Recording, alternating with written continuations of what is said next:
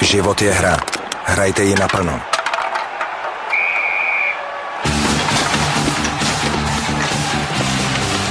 Česká pojišťovna. Partner českého hokeje.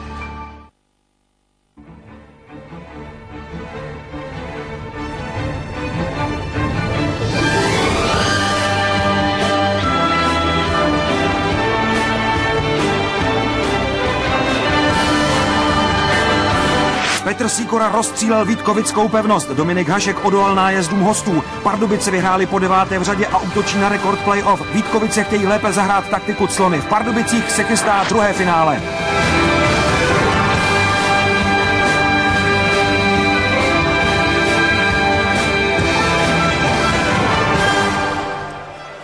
Je neděle jarní podvečer, my vás vítáme v dějišti finálové série playoff České pojišťovny v Pardubicích, kde domácí i ten hostí ve druhém utkání boje o velký pohár Vítkovice Steel. Ve studiu je i dnes Martin Hosták. Martine, vítám tě. Tak co dneska, bude to jiné než včera?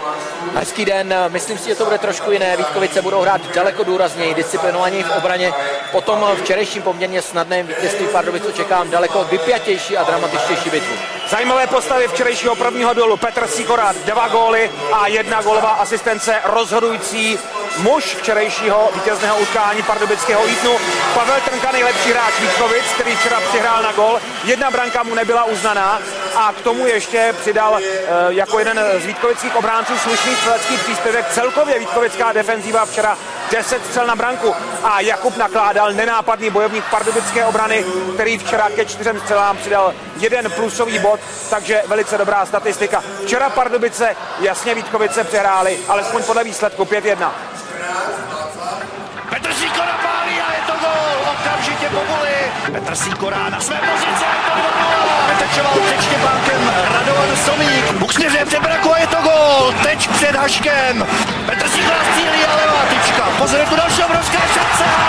Daniel Rákos to přijela koláře zvyšuje na 3 Pozor, puk je v brance, ovšem byl tam kontakt mezi Jurikem Trejem a Dominikem Haškem. A je to další ráda Petra Sikory a je to 4-1. Spíš se trefuje perfektně. 5-1, další využitá přesilovka. Pardubice včerejší výhrou vyrovnali historický rekord Sparty v počtu vyhraných zápasů playoff v řadě a dnes mohou tento rekord překonat. Vítězné série v historii vyřazovacích zápasů Sparta 9, Pardubice 9, setím v roce 96, 8 stejně jako Pardubice v roce 89. Obě pardubické série spojuje jediné jméno Dominika Haška. Ke včerejšímu vítězství vydatně přispěl střelec Pardubic Petr Sikora. Pokaždý mě výborně nahráli do střely vlastně z voleje, takže to byla hlavně práce kluků vepředu a já jsem vlastně vystřelil jenom. Vypracovali oni. Všichni to vědí, že jo, víme to my, ví to soupeř, ví to každý naší lize, že Petr má fantastickou střelu a když se k tomu dostane, tak eh, to je velice nepravděpodobné, že brankář to chytí. Jo. A to se dneska mu několikrát podařilo a, dal z toho dva nebo tři góly a, a vlastně byl to, byl to především jeho zápas. Já mám gól po a ještě když je tam Sejček a střílí z jedničky, ono se to hrozně těžko chytá, můžeš proti němu vyjet a on tě prostě prostředí má takovou ránu, že se to nechytatelné. Tak já si nemyslím, že to je o Petru Sikorovi, to je prostě, dneska mu to tam padlo, my jsme dostali pět gólů a my se z toho musíme otřepat a soustředit se na zítřek. Já si nemyslím, že tady vytahovat jednoho hráče nebo druhého má smysl. Klubový rekord Pardubic v počtu gólů v playoff drží Jiří Šejba z playoff 1989, kdy skoroval 13krát.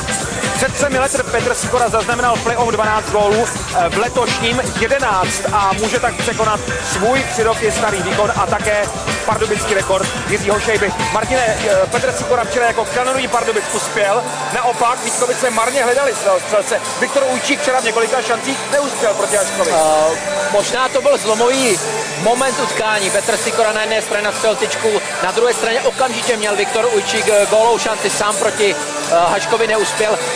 Samozřejmě takovéhle momenty zápasy rozhodují. Viktor Ujčík měl těch šancí víc, očekávají se od něj góly, i když letos jich za stolik nedal. Já si myslím, že Vítkovice nejsou jenom Viktor Ujčík. Vítkovice musí hrát daleko lépe jako tým, daleko více prosazovat v tom prostoru kolem Haška.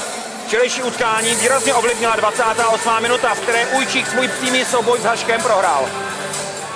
Já jsem prostě chtěl dělat kličku do backendu a ten moment, kdy už jsem ji dělal, tak jsem cítil, že ten puk mi nesedí tak, jak by měl a zůstal mi trošku pod nohama, já už jsem pak na poslední chvíli chtěl zaimprovizovat. Chtěl jsem mu to hodit prostě mezi nohy, ale už tam měl hokejku, takže tam už nebyla šance. Já to chtěl dát vlastně za něj a házet to nahoru, ale v tu chvíli, jak se mi ten trošku zadrh, tak už jsem věděl, že to nestihnu, tak jsem to chtěl trošku změnit a chtěl jsem to hodit prostě mezi nohy.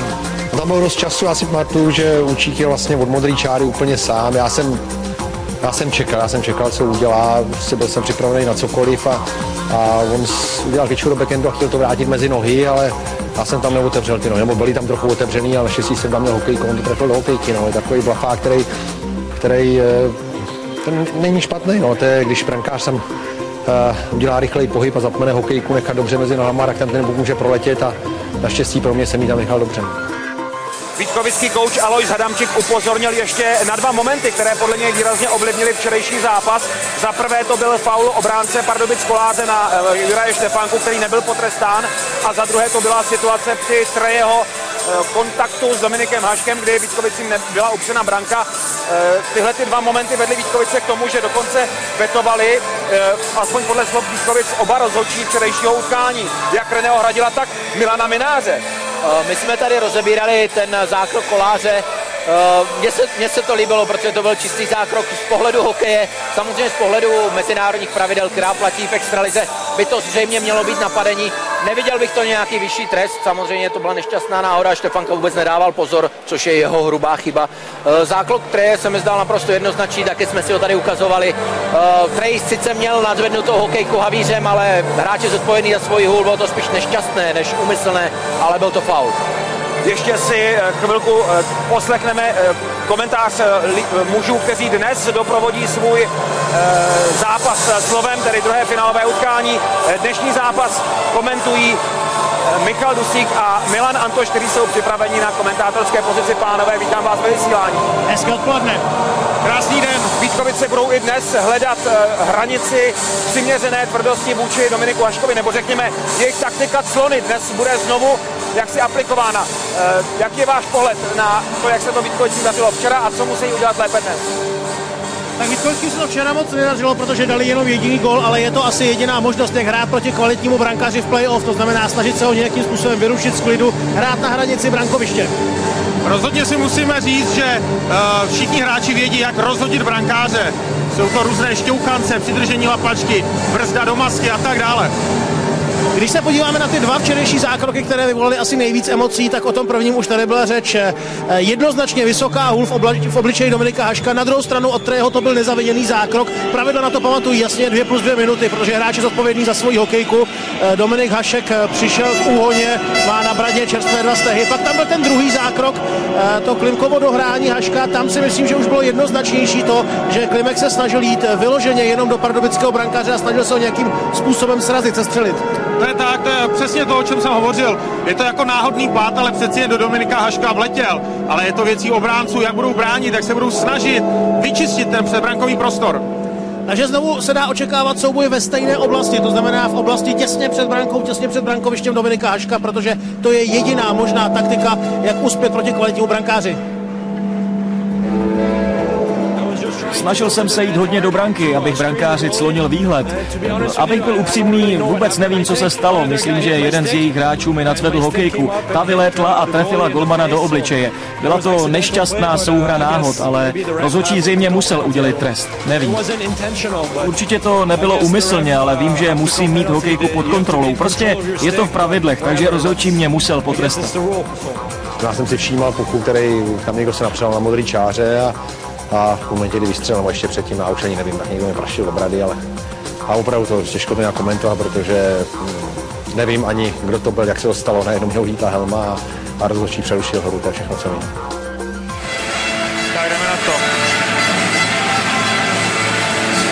Vítkovice dnes eh, poněkud obměňují svoji sestavu. V brance bude Štěpánek, ale to hlavní se stane v útocích eh, obrany. Dnes také trochu pozměněná sestava. První by měli spolu hrát eh, Jurečka s Barinkou, druhá obrana Reha s Kubošem a třetí obrana Trnka se Sičákem. Boráček jako sedmývek a hlavní změna v útocích Klimek se Štefankou a Krenčelokem kvapil s Burkrem a Trejem, Ujčík, Hruška, Svačina, tady zůstává všechno při starém a čtvrtý útok dnes na složení Šturc, Vrána a Selinger. Dominik Hašek, který na bradě eh, čerstvé stehy ze včerejšího utkání, ale to by ho nemělo žádným způsobem limitovat v dnešním souboji, do kterého nastupuje znovu jako hlavní hvězda pardubického týmu. Pardubický Eaton a Václav Sýkora nemá důvod ke změně sestavy, takže France Hašek obrany nakládal Havíř Gilson, Kolář, Píša kočí a připraven Mitchell jako sedmý back a útoky Kolář, Koukal, Ráko, Spino, Špirko, Somík, Sýkora, Zohorna, Pivko a Cetkovský, Kousal a Buchtele.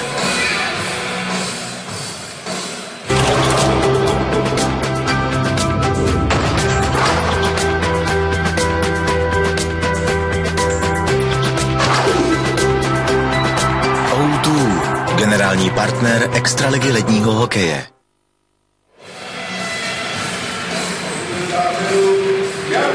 Pardubická arena už znovu zaplněná očekává nástup svého týmu, který v té hře světel nastupuje, alespoň v té zahajovací sestavě, na modrou čáru a v brance Dominik Hašek. To je až psychedelické hře. Ale včera se nenechal ani tímto způsobem zhypnotizovat a nakonec za, za, za svá záda propustil jediný puk. Také dnes symbolický začátek a minuta ticha za oběti letecké katastrofy u ruského Smolenska.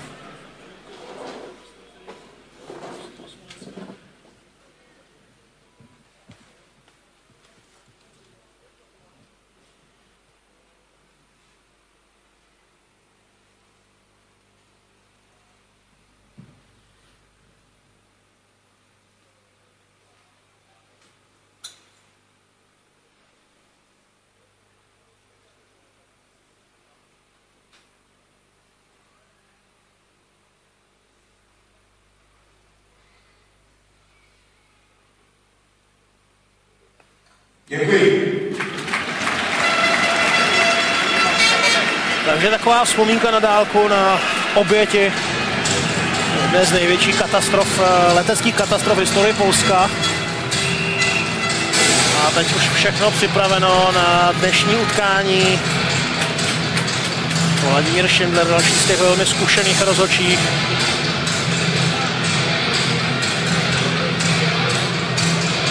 Se chystá na druhé finálové střetnutí mezi domácím pardubickým Eatonem a Vítkovickým stýlem. A ten nově složený Vítkovický útok, eh, který naskočil na úvodní hlazování, to znamená Štefanka s Krenželokem a Klimkem. Klimek. Štefanka Kládal vyhodil přes všechny čáry až na zakázané uvolnění.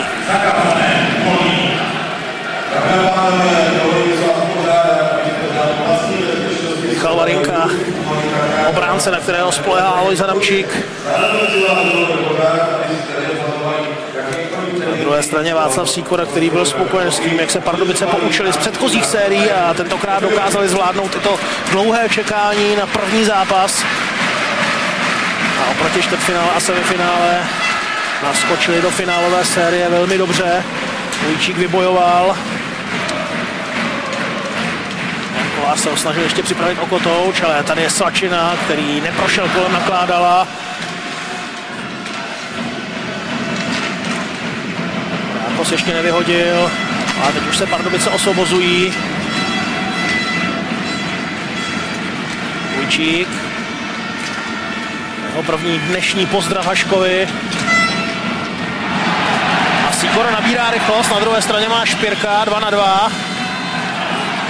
Oh! A, pardon, byl to Pino, který si tam najížděl. Který teď eh, poslal svůj pozdrav. To byla tyč, pokud se nemýlím. Ale obránci hodně couvli a měl tam spoustu místa na střelu. Trnka. Kvapil. Burger. Sostry.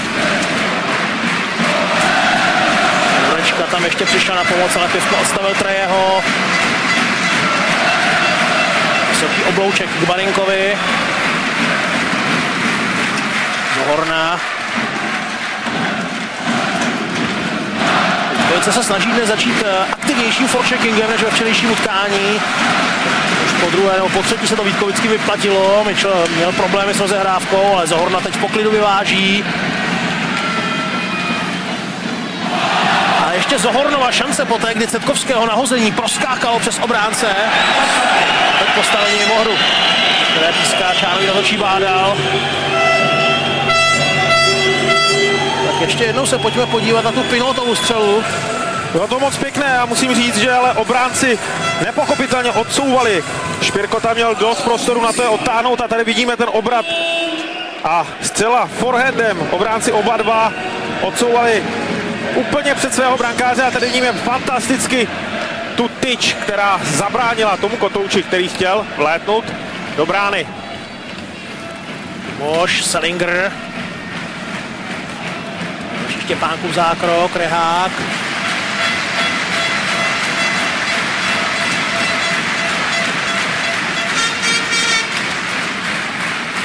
Vrána má rychlost, ale dostal se už za pardubickou branku Kuboš.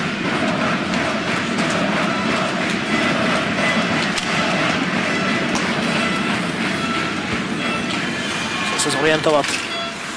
Hledal kotouč pod bruslemi, kousal, zastavil na rozehrávku Vítkovic. Rákos nahodil kouk do útočného pásma, ale nakonec mimo hrací plochu, takže vazovat se bude u modré čáry. Trenčínský rodák Denis Rehák odchází na střídačku. Až do letošního playoff čekal na první extraligový gól.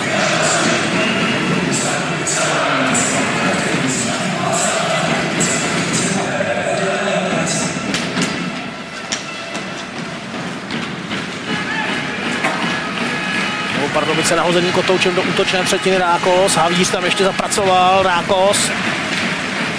Ale Trnka nezachytil. A Jakub nakládal tam ještě, zvýšil tlak do rohu. Sučák tam teď bojuje o kotouč, ale Bránce nakládal. Pokračuje ve svém útočném výpadu a hledá, kam by přihrál. Kolář. už nestačil zablokovat modrou čáru, ale Rákos rychle nahazuje zpátky. Asi Čák je ve stejných problémech, ze kterých se před chvilkou jen tak tak dostal. Ovšem Jan Kolář při forecheckingu zlomil hokejku a přece jen tak Vítkovice mají trochu víc prostoru na rozehrávku. Krenželok prošel přes modrou čáru. Štefanka. Jurečka. Štefanka uklízel ty zbytky kolářovy hokejky, aby se nepletli Vítkovickým při rozehrávce. Špirko. Pinot. Gilson. Ani na podruhé neprohodil puk podél mantinelu Ujčík, teď 2 na 2. Podání Vítkovic, ale Ujčík se daleko nedostal. Špirko. Po 11 se vyhnul Ujčíkovi, ale zastavil se o hrušku. Marinka, Jurečka. Marinka. Burgunovi na brusle. To bylo těžké ke zpracování. Teď tam už eh, odcházel Somín střídat a nevšiml si té přihrávky, která prolétla za jeho bruslemi. Treje vybojoval. A znovu se k němu dostal Kotouč, nahazoval směrem Gaškovi, ale tam nebyl připraven Kvapil na ten teč, který je zamýšlel. Reák.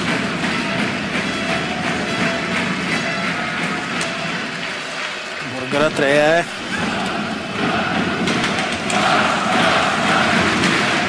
Ještě pokračuje ve forecheckingu a přimáčko mantinelu svého soupeře.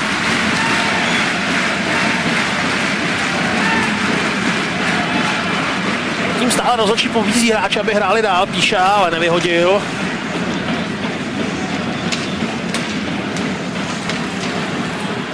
A znovu, eh, hned jak to šlo, Vítkovičtí ve dvojici před Haška. Klapil ještě udržel pásmo Burger. Kendem nahazoval před Pardubickou branku a Hašek raději přikryl kotouč. Navíc tam byl Kvapil, ovšem zasažen píšou do snad do obliče, ale Píše zvedl při tom zákroku hokejku a bude potrestán za hrubost. Máš naprostou pravdu. Myslím si, že Aleš Píša ten zákrok trošičku přehrál. Mohl zůstat stát, ale tady to uvidíme. Okamžitě zvedl ruce a Marku Kvapilovi na bradu tou levou rukou zautočil. Rozočí stal dobře postaven v rohu a celou situaci měl jako na dlaně a zcela správně ho vyloučil, protože obránce by měl bránit svého brankáře, což je jeho povinnost, ale s rukama dole.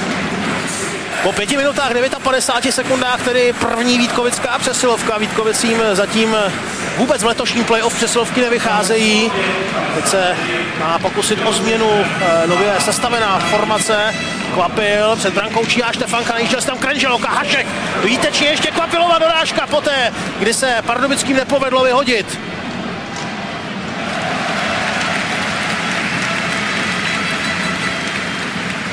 Na Kládalovi sklouzl kotou z čepele a Kvapil dostal nečekanou nabídku na opakovanou střelu. To byla obrovská šance a jenom škoda pro Vítkovice, že ji nevyužili.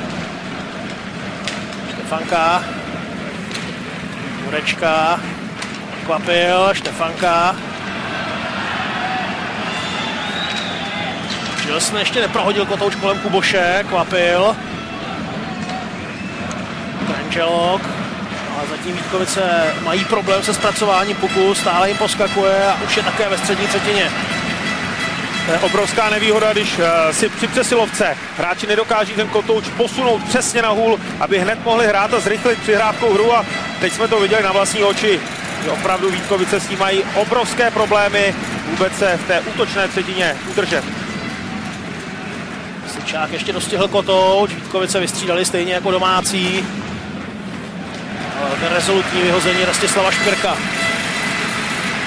Ten Vítkovický problém pokračuje. Vítkovice už v předchozích zápasech eh, v semifinále, ve čtvrtfinále i v tom včerejším utkání měli hlavní problém vůbec se dostat při přesilovce do útočné třetiny a uchytit se s pukem, rozehrát nějakou akci.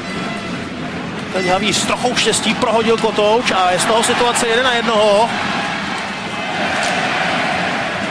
No, Pinot si teď koledoval o dvouminutový trest za to najetí do Štěpánka a jsem zvědav, jak to dopadne. Nakonec jenom postavení útočícího hráče v brankovišti, ale v tomhle případě eh, to byl Pino, který dobře věděl, že eh, má Štěpánka za zády, nebrzdil a vrazil do něj. Je to tak, hovořili jsme o tom, každá chvilka se dá využít k tomu, aby se brankář trošku znervoznil. Tady to vidíme, že hráč Pino udělal jakože nic, ale vyjel do Štěpánka úplně jasně tu situaci dohrál, i když nemusel a tady už vidíme ten zákrok. To by asi nemělo zůstat nepotrestáno, protože ty drobné fauly se budou hromadit a mohly by z toho pak být problémy. Tím spíše to bylo v brankovišti, kde by přece jenom brankař měl mít ještě to hájení navíc. Je to tak.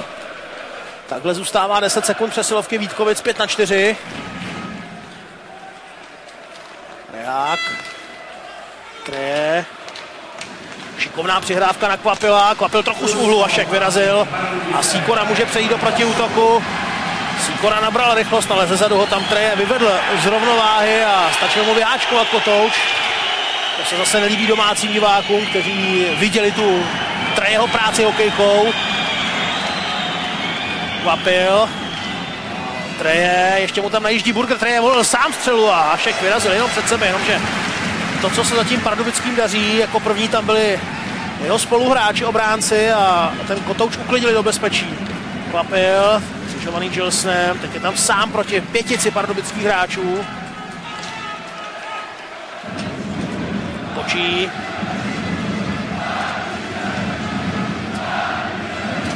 Pardubice samozřejmě už v plném počtu rozjíždějí další útočnou akci. Gilsen zatím hledá kudy. A nakonec to načasování přechodu přes modrou čáru Pardubickým nevyšlo, postavení mimo hru po 8 minutách a 56 sekundách hry.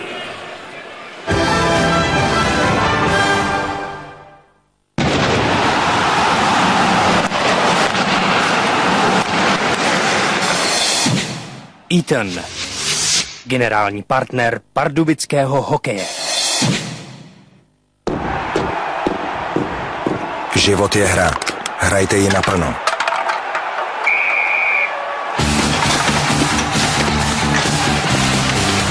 Česká pojišťovna.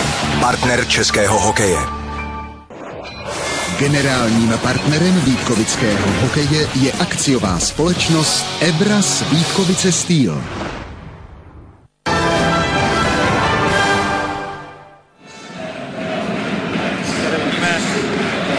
Vítkovického Kreštěloka, který těsně před pauzou měl obrovskou šanci, se snažil zakončovat bez přípravy, ale Dominik Hašek měl první zákrok výborný, opět jsme viděli, že ho pokryl, ovšem dorážka nepřišla, tak Dominik Hašek stále drží čisté konto.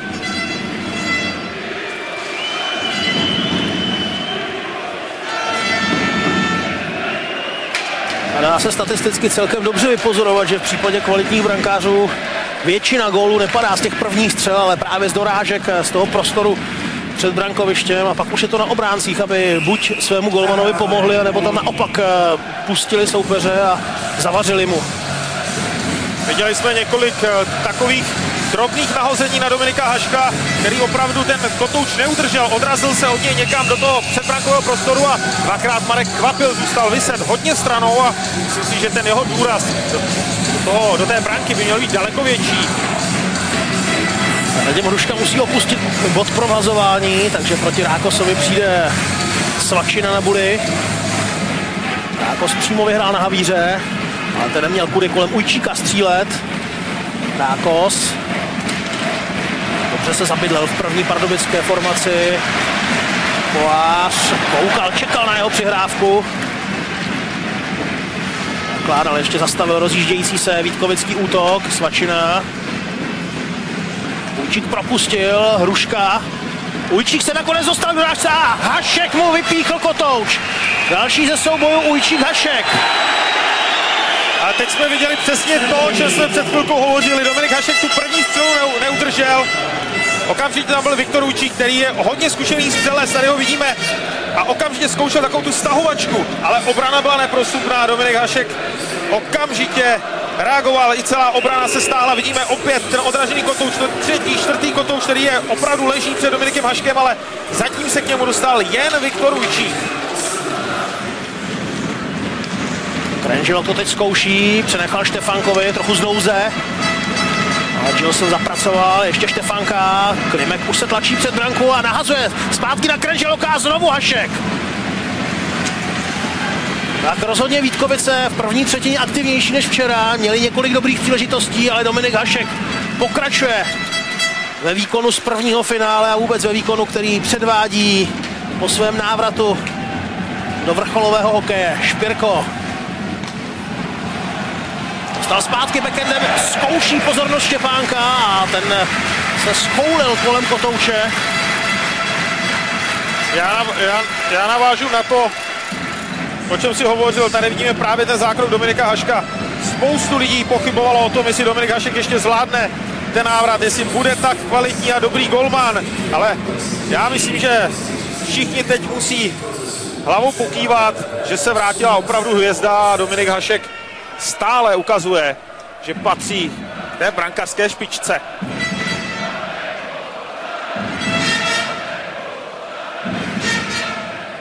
Petr Sýkola teď ve střelecké pozici, jako třetí muž na modré čáře, zajímavé rozestavení pardubického týmu. Pivko pomohl vyhrát Buli, Píša, Pivko, ale Burger vypíchl Kotouč, Kvapil. Je, už na puk nedosáhl. Píša, Kočí. Pivko jenom srazil puk do osy. Čák s Trnkou si trochu dávali přednost. Ale nakonec Vítkovice odehráli. Sičák. Příliš prudké nakvapila. Píša. Morná, Pivko. Znovu těsně bráněný Sičákem, ale Sičákovi se tam trochu zamotala hokejka do Pivkových rukou. Hraje se dál, Síkora.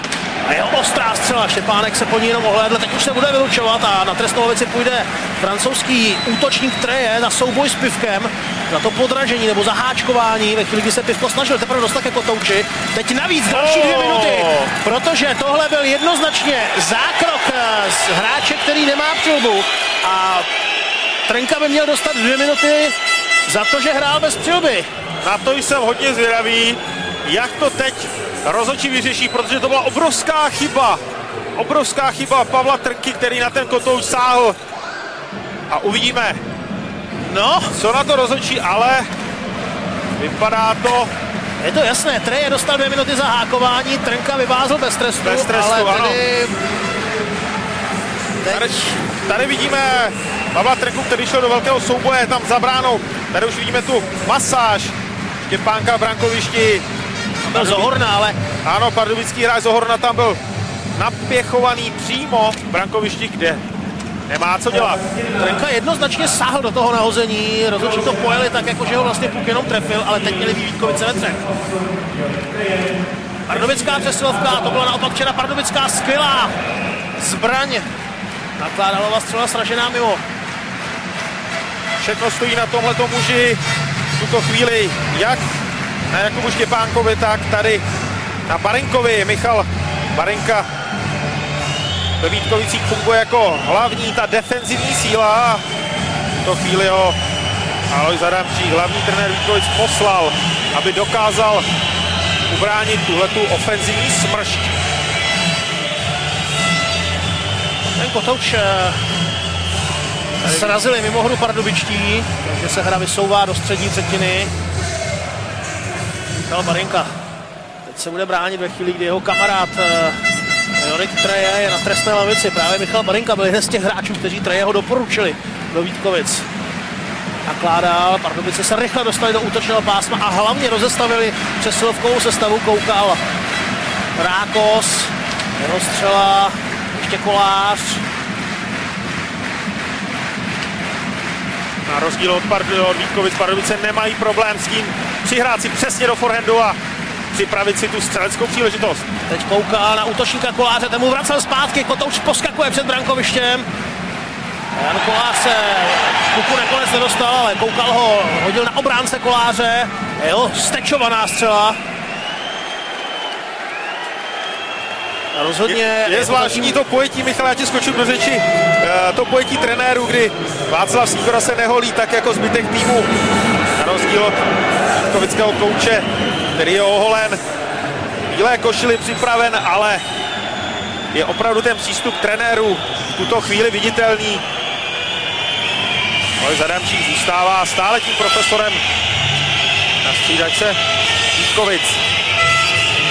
Tady vidíme krásný slide. Ano, a Melu z pohledu Štěpánka. Znovu se vazovalo ve středním pásmu. Eh, Pardubičtí tečovali ten kotouč nad. Takže ta druhá přesilovková sestava rozehrává. Špirko. Pivko, skoro na modré čáře, ale Špirko dostal přednost, byl blíž. A po druhé se ke Špirkovi kotoučen dostal.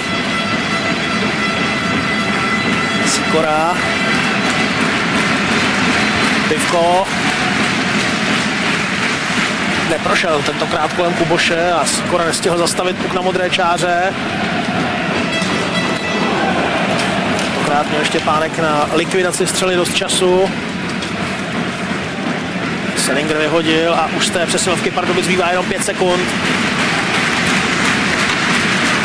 Které jeho trest právě skončil. Pinot. Tentokrát u levého mantinelu pronikl do útočného pásma. No tak pokud jsme se bavili o tom, kdo dnes bude aktivnější eh, na hranici brankoviště a v brankovišti, zatím to tedy vypadá na Pardubické, protože zase dva hráči se tam natlačili na Štěpánka, až z toho e, rezultovala posunutá branka. Je to tak, musíme říct, že zatím ten tlak daleko větší je tady na toho brankáře. Pardubice se snaží Štěpánka zatlačit úplně do brány každou chvilku. Využijou, tady vidíme ten souboj, kdy Adam Pino objížděl bránu a Setkovský se tam natlačil do té brány a tady už vidíme spícího fanouška. Toho zatím ten hokej uspal. No Viktora Učíka zatím ne. Viktor Ujčík svoji střeleckou formu nalezl v posledním semifinálovém utkání proti týmu Vladimíra Ružičky, tedy hráče, vedle kterého vyrostl ve střeleckou hvězdu ve Slávii. Zatím stále čeká na své vítězné extraligové finále. zažil zlatou medaili na mistrovství světa. Myslím, že je i vítěz eh, ve Finsku. Ano. Eh, Dokonce myslím dvojnásobný vítěz ve Finsku, ale tady v České lize myslím, že začínal v Jihlavě a tam možná sáhl na pohár. Možná ne, ale každopádně těch extraligových startů má požehnaně. Sevření kotouče rukou. Mazalece bude znovu na stejném bodě, to znamená po levici Vítkovického brankáře. Máš Zohorna. Se také chystá na buli a zase to rozestavení se střelcem tentokrát eh, Pino, stažený dozadu. Zohorna prohodit na Pinota, ten puk eh, se odrazil nahoru, nakonec ho Pino našel, Klimek na strategickém místě. Štefanka, Klimek, Jurečka, prostřel silnícího Zohornu. Klimek ještě udržel kotouč, ale před Krenželoka se natáhl Pino.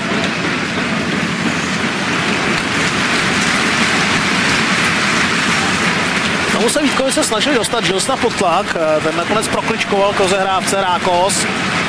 A Pardubice se osvobodili. A stihli i vystřídat, koukal jde za pukem, Rákos.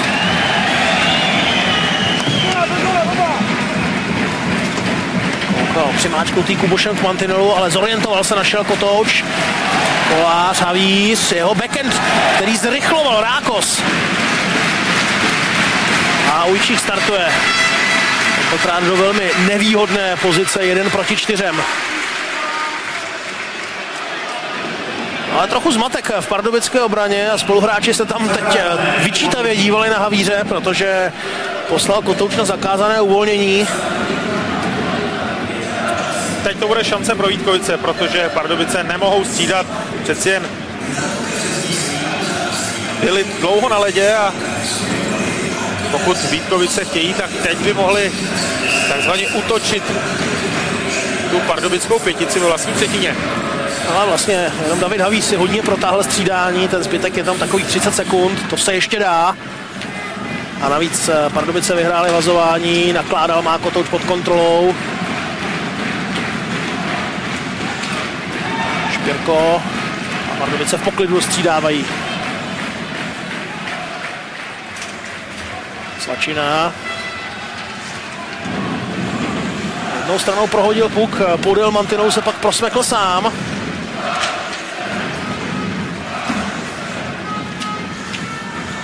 Ještě Jurečka udržel pásmo, ale přihrávka rukou. A vazovat se bude ve střední třetině. Sice pardubičtí pak získali puka, vyráželi dopředu, ale ten technický prohřešek už byl učiněn. Václav Sikora, který se snaží změnit to postavení v útočné třetině na vhazování, kdy staví tři hráče na modrou čáru a věří tomu, že centr nebo hráč, který bude na vazování, vyhraje vazování za sebe a je z toho velká šance. Je vidět, že stále taktizuje, stále vymýšlí nové věci. Je propustil a Hašek musel zakročit proti Barinkově na hození. Lečka.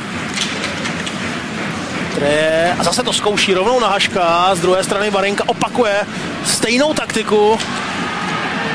Burger přišel o přilbu v souboji.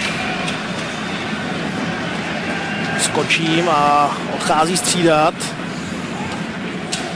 Marinka, Jurečka.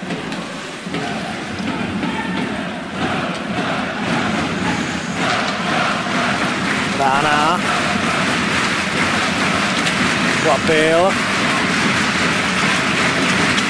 Rána, Kuboš a okamžitě znovu na Dominika Haška. Ta taktika Vítkovic je jasná.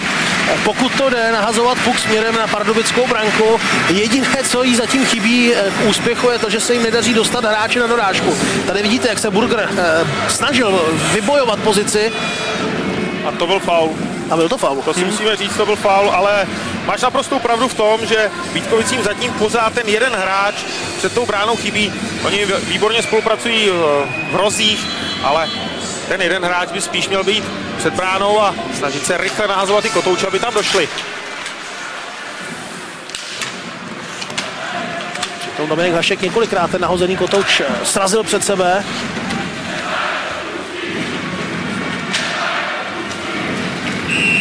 Ono to i odpovídá tomu, že on má přehled, ví, co si může a co si nemůže dovolit. Stele se teď neprodral, ten skákavý puk nakonec sklepl na střídačku soupeře. Dominik Hašek je dost zkušený na to, aby věděl, jak se domluvit s obránci, jak zrychlit doru, jak to zařídit, aby u něj vhazování bylo co nejméně a ve střední pásmu v útočné třetině nejvíce a je vidět, že z těch zkušeností opravdu těží.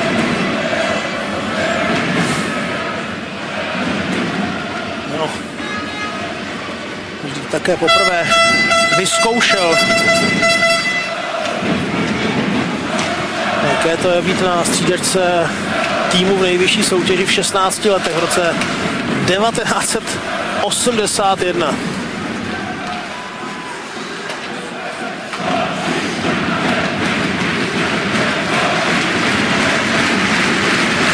Spousta spoluhráčů i protihráčů toho dobu ještě ani nebyla na světě.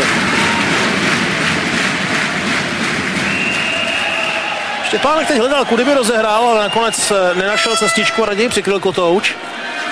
Je to tak, Pardubice opravdu velice důsledně dobruslují eh, všechny kotouče hozené.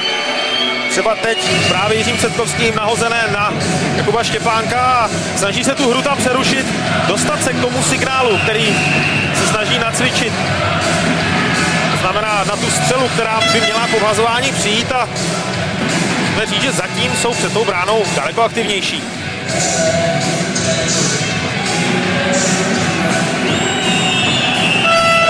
Štefanka si tam ještě něco vysvětluje slovně s Rákosem, ale točí už mu ukazuje, že musí pryč z buly a místo něj proti Rákosovi Krenželok. Koukal. Snaží se ukličkovat Sičáka, to se mu nakonec nepovedlo, ale Sičák nevyhodil, nakládal a Štěpánek a teď eh, jsem čekal, jak bude vypadat Vítkovická odveta, protože Rákos tam ještě sekl Štěpánka do rukavice ve chvíli, kdy ten měl kotouč už eh, pod kontrolou. Ale Štěpánek to udělal velice dobře. Musím říct, že sebral ten kotouč ze vzduchu, nenechal nikoho, aby mohl dorážet nebo na něj sáhnout. To bylo velice zkušené. Nenechal ten kotouč dopadnout na zem, ale okamžitě teď to vidíme. Ten souboj okamžitě ze vzduchu ho sebral jak k baseballu a schoval ho do své lapačky, což je vidět. Ale viděli jsme tam i ty, ta dvě seknutí a také jsme viděli, jak si napřed Štěpánek musel otlačit vlastního obránce Trnku. Před ním je opravdu velký tlak. Teď Krenželok zachytil a má rychlost. Špirko nezastavil, ale eh, zabrzdil kotouč a obrací směr hry. Somíkovi střela úplně nesedla. Znovu Somík propustil, Pinot, Špirko před brankou, tentokrát blokovaný a hlídaný.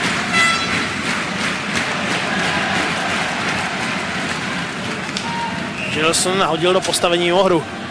Lehké přibrždění předtím, než eh, napálil kotouč, stačilo spoluhráčům k tomu, aby přejeli přes modrou čáru. Vidíme Somíka, který je už opravdu zarostlý jak loupežník a to ještě několik dní ty vousy nesundá. Je to taková pověra mezi hráči a musím říct, že se na tom dost dbá, aby se to plnilo. Je tam byl ten týmový výkon. A nejhůř jsou na to vždycky junioři, kterým ten vous ještě moc neroste a musí pěstovat své chmíří. Znovu tlak na branku a Sikorova rána. Pivko ještě našel kotouč. Sikora už si hledá prostor, ale tentokrát eh, odcouval z místa, kam se puk odrážel.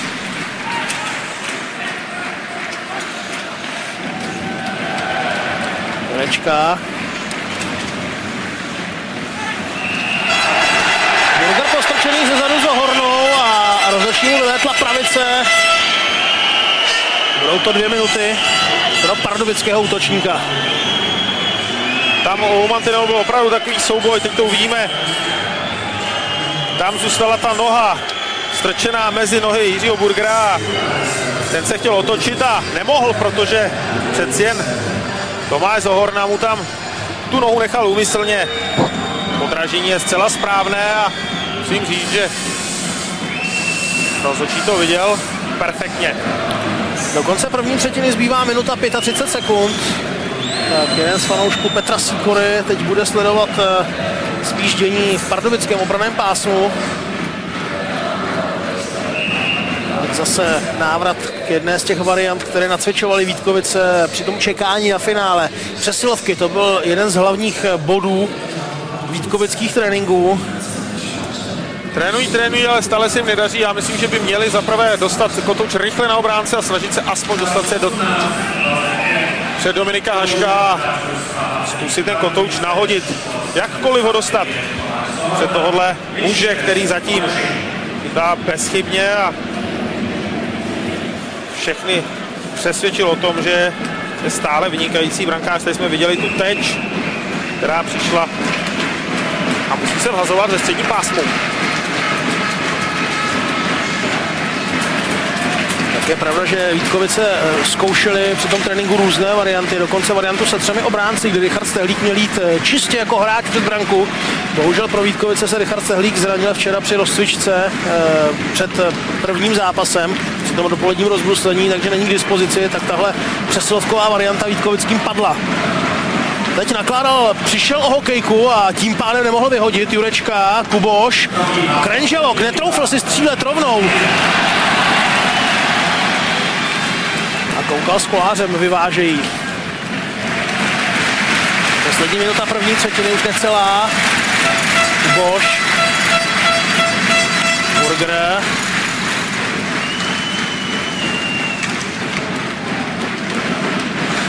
Ale zase hlavní problém Vítkovic je dostat se vůbec eh, do té přesilovkové sestavy, do toho vzorce. Teď Štefanka, Sičák, Barinka, ale bez přípravy trefil jenom slonícího Pinota. Ale já si pamatuju jeden, jedno utkání Vítkovic doma, kde dali 4 nebo 5 gólů za základní části při přesilovce a teď se jim teda přesilovka opravdu tragicky nedaří. V základní části Vítkovice vůbec neměli špatné přesilovky, zhruba 20% úspěšnost, takže nad průměr. Teď je to v podstatě jedna z deseti. Konec první třetiny. Vítkovickým zůstává 25 sekund přesilovky do druhé části. Viděli jsme v úvodních 20 minutách celou řadu zajímavých momentů. Viděli jsme tyč, ale zatím bez jediného střeleného gólu. Divácky přitažlivé utkání má své grády, je tady spousta šancí, spousta momentů, ale stále ve férové atmosféře. Ale pozor, crosscheck a pěkně ostrý.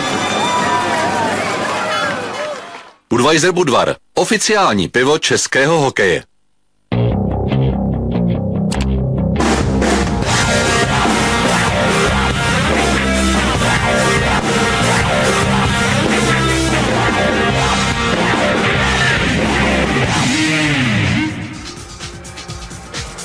Ve studiu Bulik přivítáme v první přestávce vzácné hosty legendární pardubickou formaci Martinec Novák Šťastný a to v kompletním složení. Podíváme se také na to, jak se vyvíjí páté utkání baráže Mladé Boleslavy a Martin Hosták proskoumá s elektronickou tuškou první střelu zápasu, která skončila na tyči. Za chvíli ve studiu Bulik.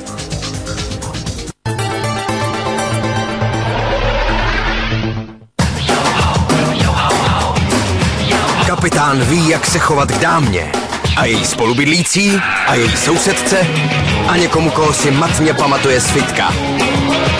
Kapitán najde řešení v každé situaci.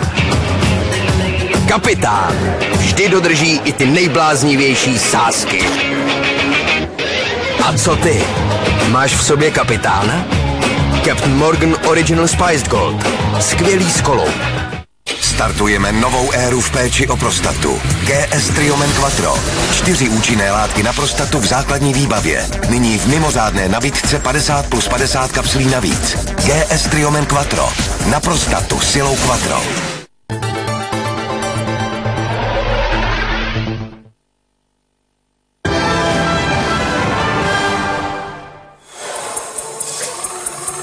27. října 2001 byli na ledě pardubické haly při znovu otevření arény oslaveni tři muži, kteří se výrazně zasloužili o historii tohoto klubu a československého hokeje.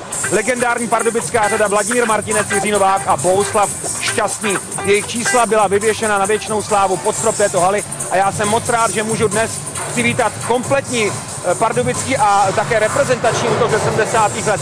Vladimír Martinec, pravé křídlo, Jiří Novák, centr Bouslav Šťastný, Levaso. Pánové, dobrý den. Dobrý den. Tak eh, vy jste spolu vlastně od té doby, od toho roku 1981, kdy jste se rozešli z Pardubic do různých ještě stran světa, už jste spolu potom nikdy nehráli, takže jste po 29 letech spolu v živém vysílání, je to tak?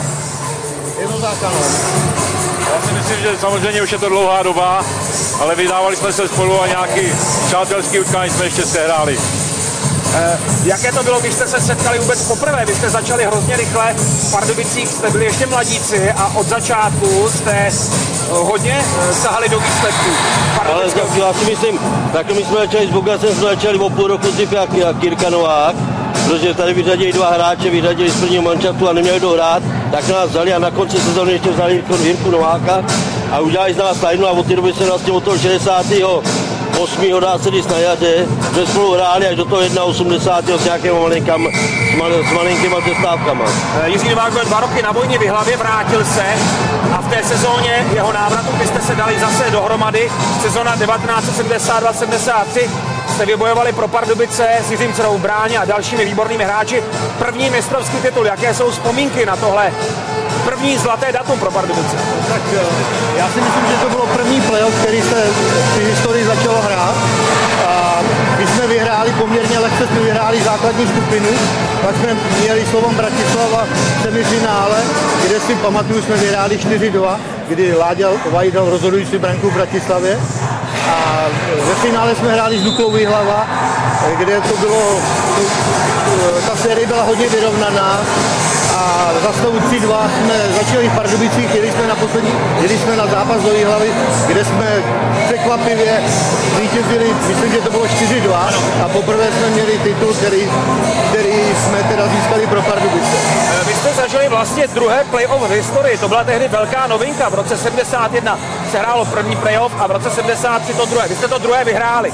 Hrálo se vlastně jenom semifinále a finále, ale stejně, jaké to bylo, tahle ta novinka pro vás? Samozřejmě, že pro nás to bylo něco, nového, zkoušelo se to, eh, my jsme byli velice na to dobře připraveni, měli jsme dobrý trenéry, takže jako nás to tak nějak nepřekvapilo a prodloužili jsme si sezónu. Prakticky my jsme vyhráli ligu takové počasí, jako je téměř dneska. Krásně bylo obecenstvo, bylo ba- barevný, bylo asi kolem 12. května, když jsme to výhlavy hráli, takže to bylo eh, nádherný. Mě to trošku připomíná, když dneska se podívá na to počasí venku, tak bych to rád chtěl zopakovat, to, co bylo před těma několika mnoho lety už.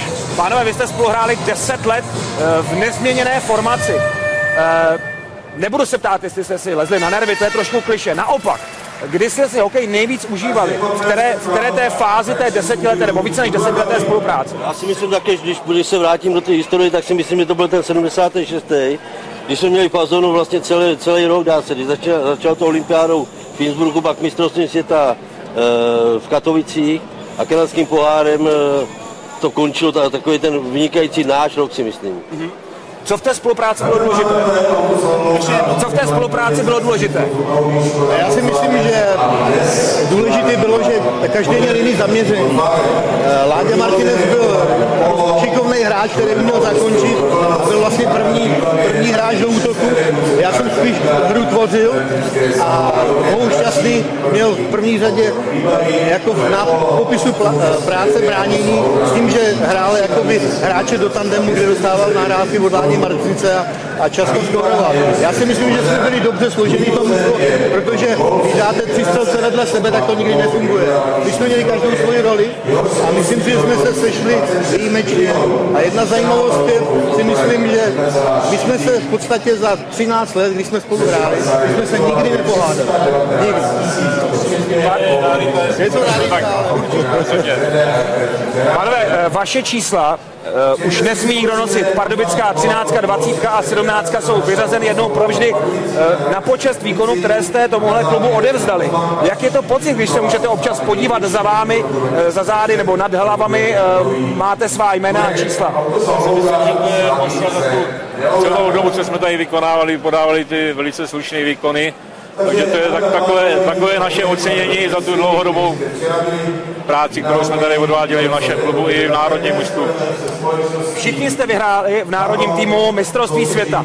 Pohromadě v roce 76 to byl parádní šampionát. Bohužel v archivu nemáme právě z tohle mistrovství moc bohaté záběry, eh, ale eh, stejně pak jste ještě vyhráli eh, Bohuslav a Vladimír spolu v roce 72 a Jirka s Vladimírem v roce 77. Čili dohromady sečteno 8 titulů mistra světa. Ne, pardon, 7, 7, 7. Ale neuvěřitelná bilance pro jeden jediný útok. Eh, Kdy jste se cítili zase, kdy jste se cítili nejlíp na, eh, na mistrovství světa, na velkých turnajích, když jste mohli světu ukázat, my jsme z Pardubic a my umíme hrát hokej tak jako Já kdokoliv. myslím, že tohle to bych se opakoval, to, to, to jsem řekl před chvílí, 76. že si myslím, že to byl ten 76. Ale hrálo se nám i v těch jiných letech se nám hrálo dobře, ale to, to se nezapsalo za tak výrazně do té paměti, ať těch diváků nebo nás, protože jsme nešťastnou shodou náhod nebo okolností přišli o nějaký titul, protože 74, když tam Mirka nebyl, že jo, tak jsme, tak jsme se hráli taky výborný mistrovství světa, když se psalo potom stříbro bez desku a takovéhle věci, ale, ale jsme hráli taky dobře. Nebo potom 76, 77, to byly dobrý mistrovství světa. Eh, My jsme vybrali pár momentů z vaší spolupráce a pár momentů, které připomenou eh, mistrovství, s jakým eh, tihle borci dokázali hrát. Bohuslav Šťastný a jeho dva góly kanadským profesionálem v roce 72. eh, To byl zápas, kdy jsme vůbec poprvé hráli s Kanaděny v tom nejsilnějším složení a v Praze eh, Bohuslav Šťastný přispěl k remíze 3-3 dvěma góly. Nejslavnější okamžik kariéry Bohuslave. Osobní teda.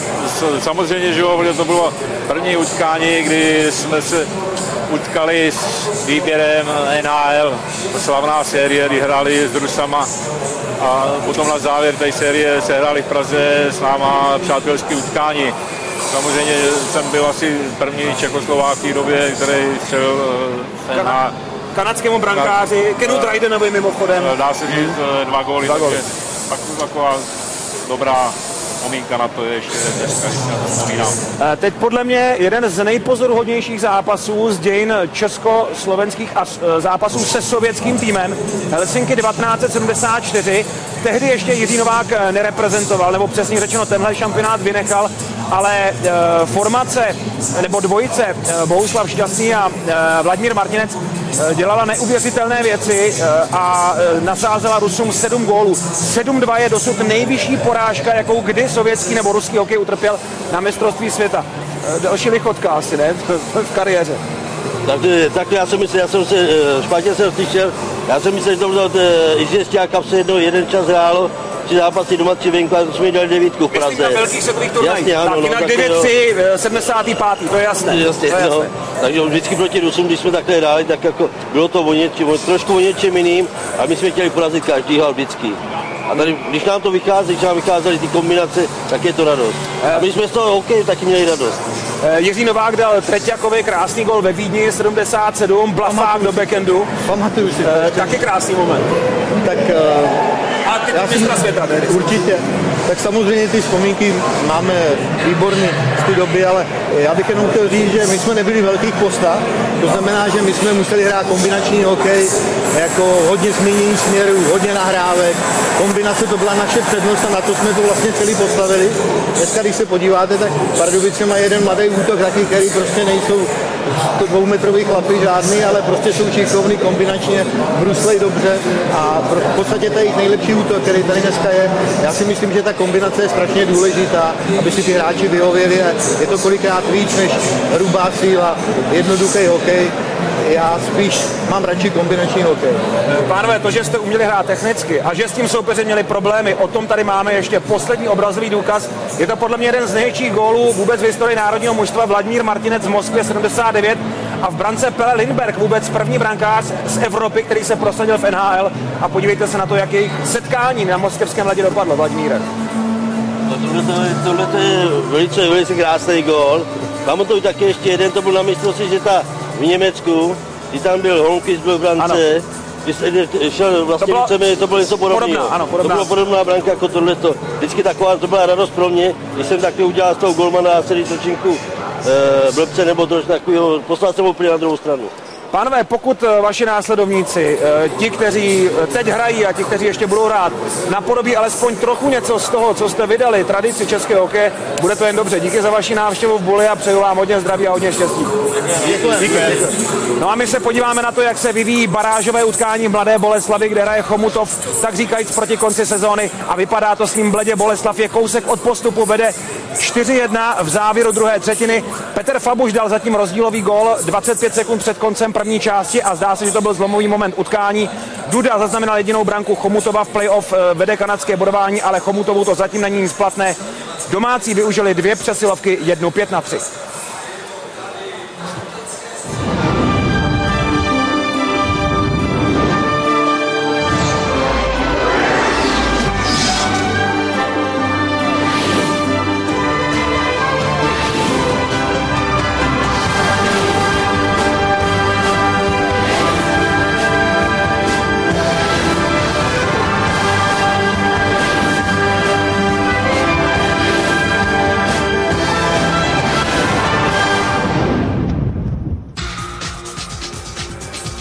Vracíme se k televiznímu utkání, druhému finále.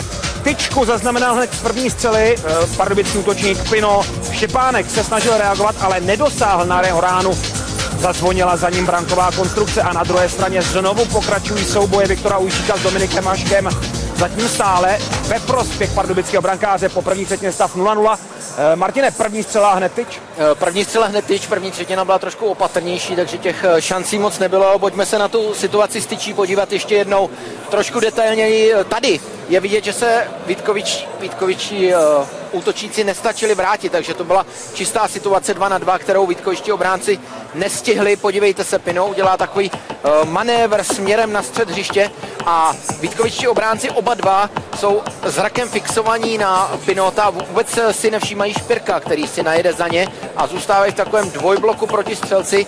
Tím pádem má Štěpánek zakrytý výhled, eh, nevidí pořádně na tu střelu a ona se mu krásně zacinkala pravá tyč, takže tady měli Vítkovice velké štěstí, protože špatně bránili.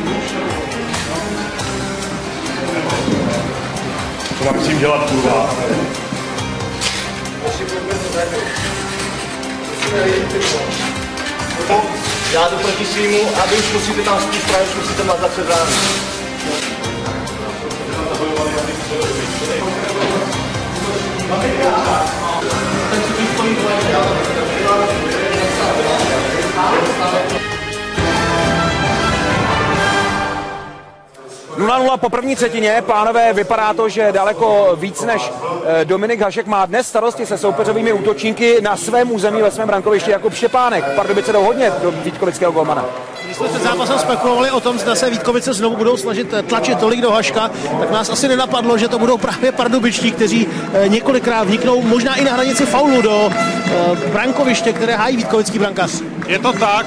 Eh, Pardubický hráči určitě o tom hovořili v kabině a říkali si, když oni, tak my taktéž. A eh, popřeli se do toho, musím říct, že dva zákroky byly opravdu na hraně a, a možná, že to i zavánilo vyloučením, protože tento zákrok byl opravdu hraniční a tady mělo už při rozhodčí vylučovat. Takže myslíš, že to může být i taková odveta za ten včerejšek? No, určitě je to odveta, protože hráči se na to připravili a řekli si, pojďme do toho, eh, oni půjdou do Haška a my zkusíme Štěpánka. Lukáše, po prvním utkání jste hovořili o tom, musíme Haškovi střílet nahoru. Jak se vám to zatím daří? No, zatím se to daří, zatím jsme netrefili moc bránu a zase šli tam střely, šli po ledě. Nemůžeme to trefit, musíme to trefit nahoru a dát první gól a bude to dobré.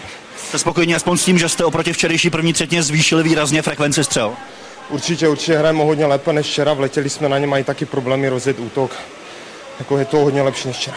Byl v tom nějaký úmysl, že s Jurajem Štefankou chodíte proti jejich první formaci?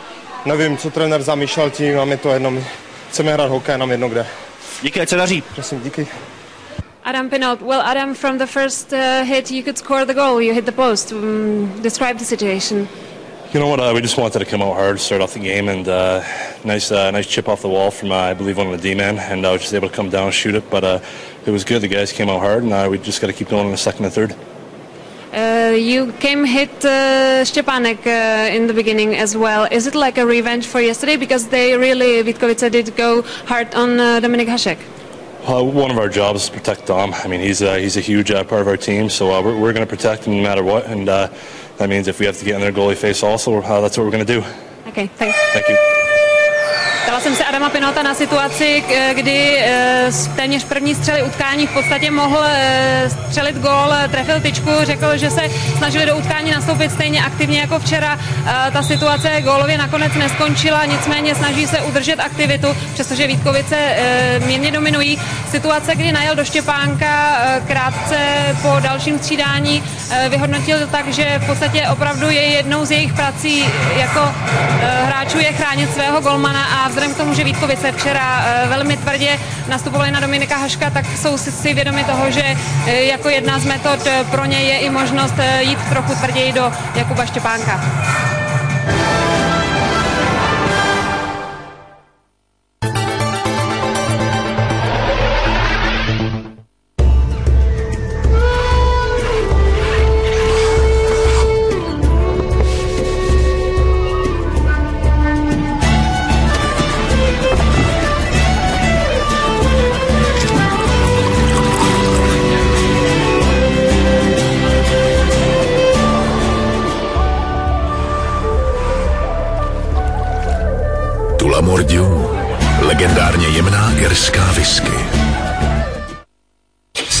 Startujeme novou éru v péči o prostatu. GS Triomen Quattro.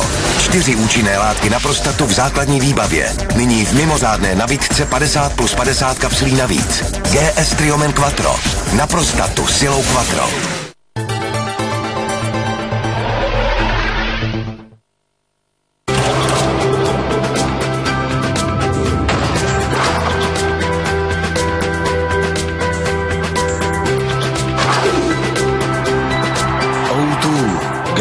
Partner Extraligy ledního hokeje.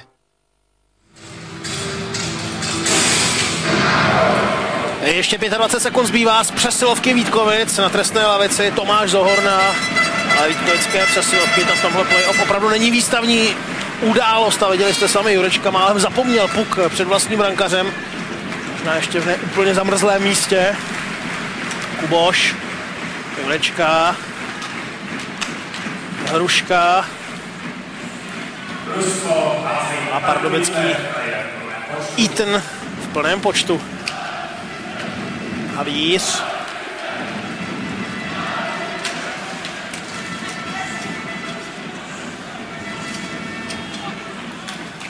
Ještě bojoval o kotouč, ale také Svačina, Hruška. Havíř mu vypíchl puk. Teď eh, zahrál Vítkovický hráč, který šel na střídačku, ale já si myslím, že za něj ještě nenaskočil eh, hokejista, který ho měl vystřídat, takže to bylo z toho pohledu všechno v pořádku. Tady ovšem šance pro Špirka. Štěpánek pouze vyrazil ramenem před sebe. Obránce Jan Kolář. Tady je zachytil, ale před brankou nikdo z jeho spoluhráčů. Kvapil už eh, neuhlídal kotouč u modré čáry. Somík. No, Špirko. Špirko. Pinot, jeho zblokovaná střela.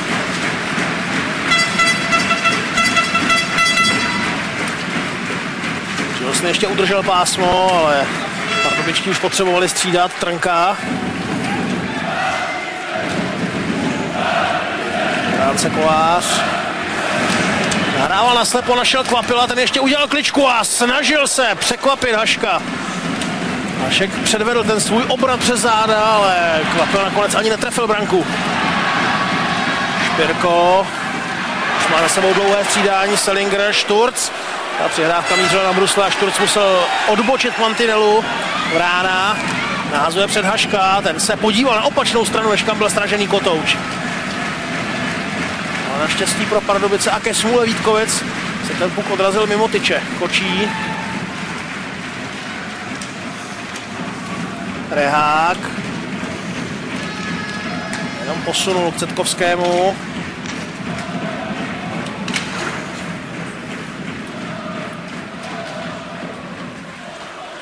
Selinger, Brána. Brána bítka k Šturcovi, ale Hašek si pohlídal brankoviště. Na druhé straně Štěpánek. Přitě puk na svou hruď. Ale teď jsme viděli názorně to, co dělá dobrá přihrávka. Teď vidíme už veselé povídání. Tady vidíme Kvapila, který si počkal na tu příležitost. Puk se mu vrátil. On opravdu šikovně vymíchal jednoho obránce a pak se snažil nad Dominikem Haškem vystřelit po tu horní tyč, ale to se mu nepovedlo. Tady už vidíme diskuzi s Alexem Adamčíkem, který na něj hodně sází a musím říct, že ta sázka zatím vychází. Před Štěpánkem tečovaný kotouč. Mitchell nahodil. Ale tady je Barinka. Dobře se rozhlédl, dovolil si vyhodit středem, Krenželok, Štefánka. Velkou Hašek stíhal lapačkou kotouč, ale ho včas.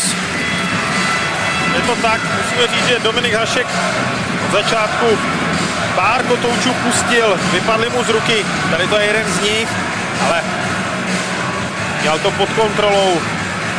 Je vidět, že okamžitě dokáže ten kotouč schovat, i když mu na poprvé vypadne nebo se někam odrazí, okamžitě má druhý zásah.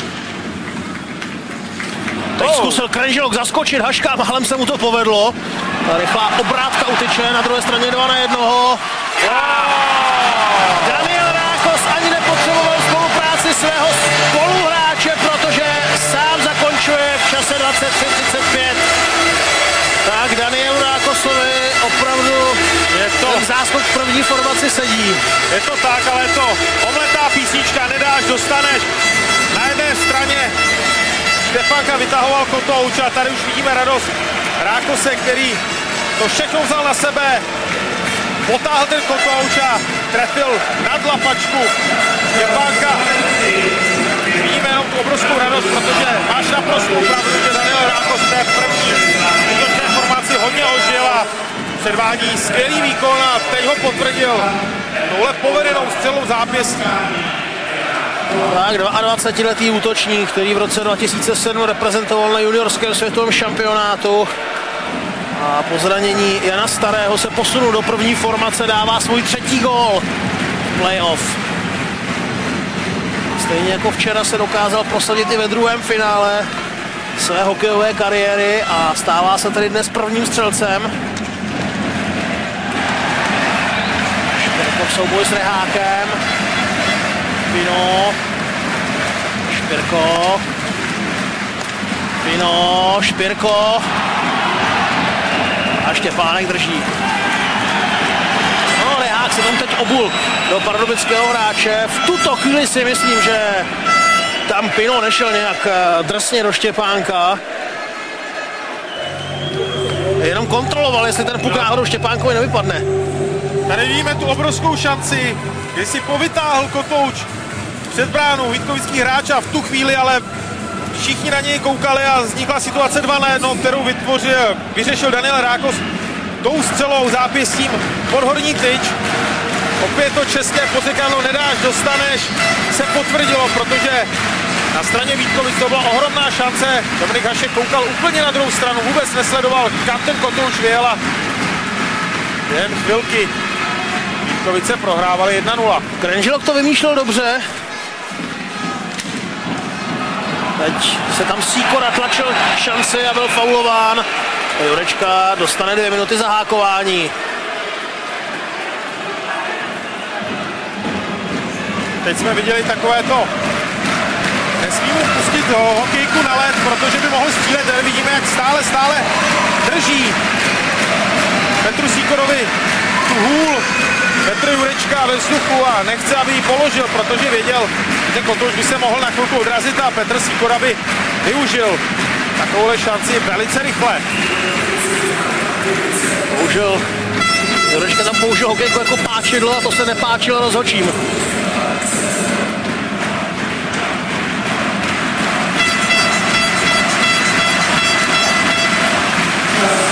Takže Pardubická přesilovka, číslo dvě v dnešním utkání, Somík.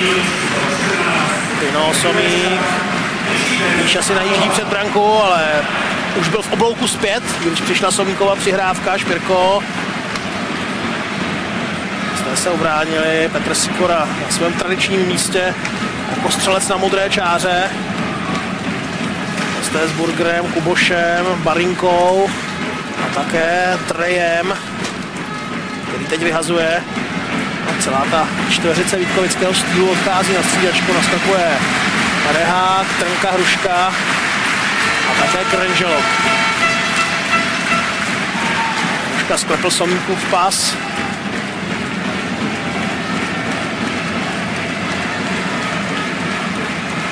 Také domácí střídají, Sikora zůstává a němu naskočil první útok.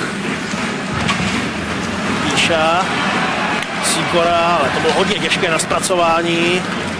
Rákos. Oh, a bude to 5 na 3, protože Rákosovi zůstala Trnková hokejka zaseknutá pod rukou a Trnka dostává dvě minuty zahákování. 49 sekund, dvojnásobné výhody. Tak to jsme viděli opět to páčidlo, které použil Trnka. Tady to máme jak na dlani. Rákos nemohl vůbec nic přímo před zraky hlavního rozhodčího, který okamžitě zvedl ruku, vůbec nad ničím neváhal, protože to byl to byla obrovská chyba Pavla Trnky.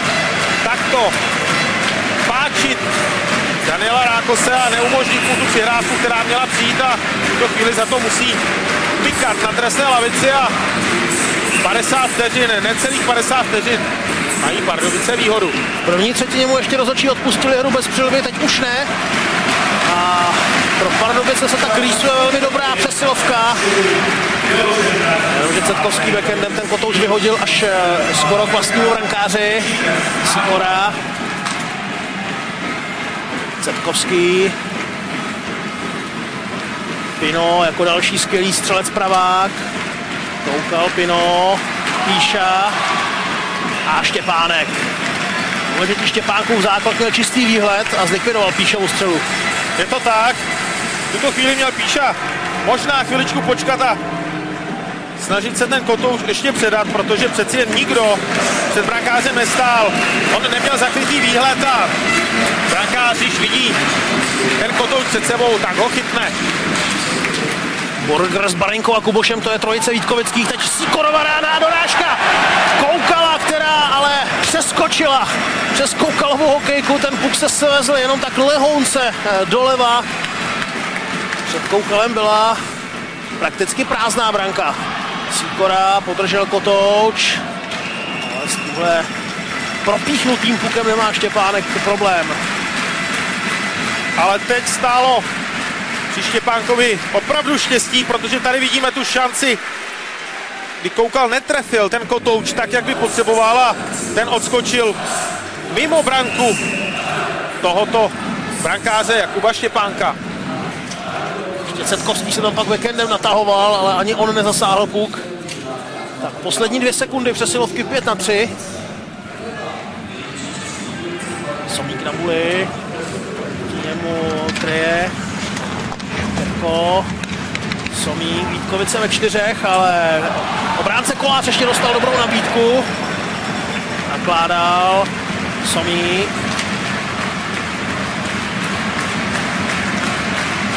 Točí Kolář, Jan Kolář to zkusil vytočit se přes Štěpánka. A Rehák vyhazuje. Ještě 45 sekund zbývá z pardubické přesilovky. Špirko. Stále Špirko. Somík. Bránce Kolář nakládal. Marinka do rohu a Sičák pouze k nakládalovi. Takže znovu musí Barinka vyhazovat a tentokrát rozehrál s přehledem. Angelok.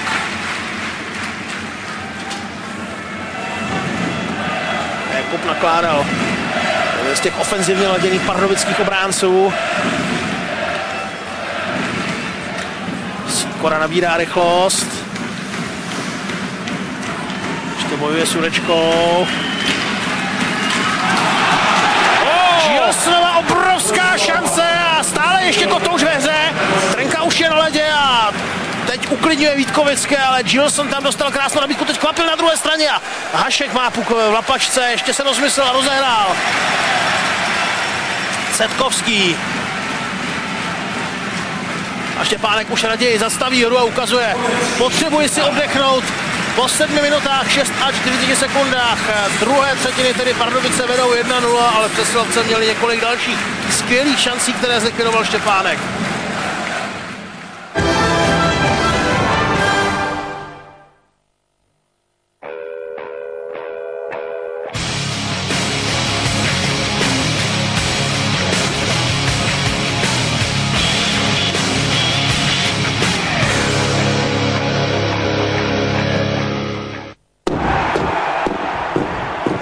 Život je hra. Hrajte ji naplno.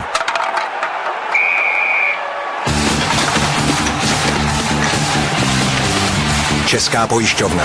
Partner českého hokeje.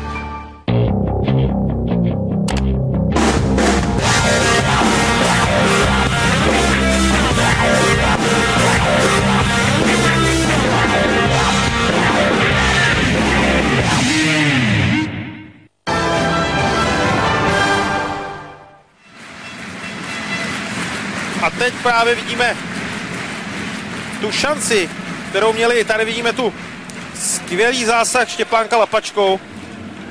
Ten tlak před bránou a okamžitě na druhé straně breaková situace pro Marka Kvapila, který nevyužil a Dominik Hašek okamžitě rozehrál kotouč. Tak teď to nebylo nedáš, dostaneš, ale nedáš, nedáš. Ale skutečně proti Gilsonovi tam Štěpánek máchl svojí lapačkou do odkryté branky a Gilson už, už slavil. To byl neuvěřitelný zákrok, protože Štěpánek se dokázal rychle přesunout a, a rukou máchl do prostoru a dokázal ten kotouč vytěsnit z té jeho svatyně a v tuhle chvíli se herně dostává určitě nahoru, začíná si daleko víc věřit. Takový to zákrok každého brankáře nastartuje. Uvidíme, jestli tahle nevyužitá přesilovka 5 na 3 a v zápětí ten fantastický Štěpánkův zákrok bude jeden ze zlomových momentů zápasu. Určitě je hodně důležitý. Svačina. Čeho nechce pustit z rohu. Hášek se raději vrhl po kotouči, protože si nebyl jistý, jak jsou rozestaveni jeho spoluhráči.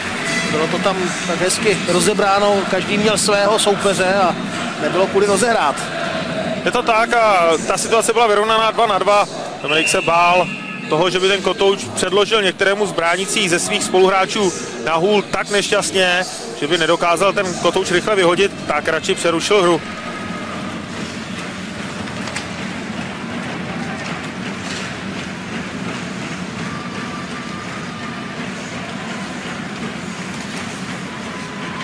Nakonec odstavený od Kotouče a Pardubice 3 proti 3. Kolář se individuálně neprosadil Jurečka, Klimek, složený Havířem. Marinka, Jurečka. Žilok jenom protečoval, tak aby to nebylo zakázané uvolnění.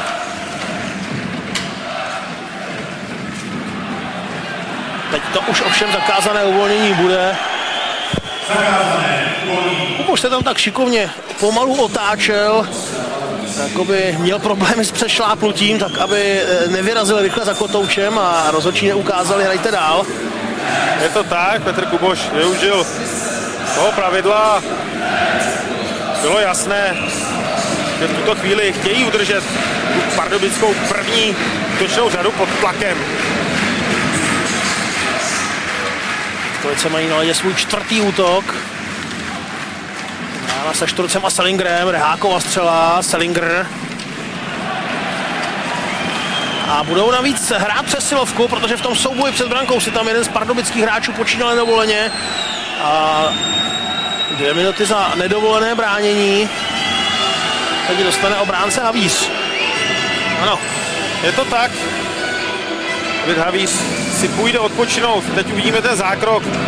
Jasné podražení, nechal tu hůl stát přímo před nohou Vítkovického hráče, který se chtěl rozjet a spíš než nedovolil bránění by to mohlo být podražení, ale každopádně Vítkovice budou mít možnost přesvědčit tady trenéra Aloise Hramčíka o tom, že přesilovky zlepší a Viktor Učík by mohl to chvíli zkusit ohrozit Haška. Ale Hramčík zkouší stále nové a nové sestavy, teď Půjčík s Kvapilem a Vránou. Půjčík to zkusil sám, ale neprohodil puk přes obránce Gilsna. Konečka a Barinka, to je obrana, kterou teď mají Vítkovice na ledě. Domácí s, tedy s Gilsnem, je tam Špirko, je tam Somík. Turečka, Vrána, Ujčík, Barinka, Ujčík. Vrána, Barinka. Turečka se pupu nedotkl, takže se může hrát. A teď se Kotouč odrazil nečekaně až před Haška. Ale tam už měli prostor obsazený domácí hráči. Kvapil. Zkusil to individuálně, nakonec mu Píša sebral puk. Ani Treje se k němu nedostal. Znovu šance pro Pinota. Tentokrát přenechal do tandemu Cetkovskému. Treje. Burger, Pino mu vysekl Kotouč. Píša. Sičák musí sprintovat zpátky. Setkovský má puk pod kontrolou, ještě šance pro Pinota, ale skákavý Kotouč už je u mantinelu. Setkovský.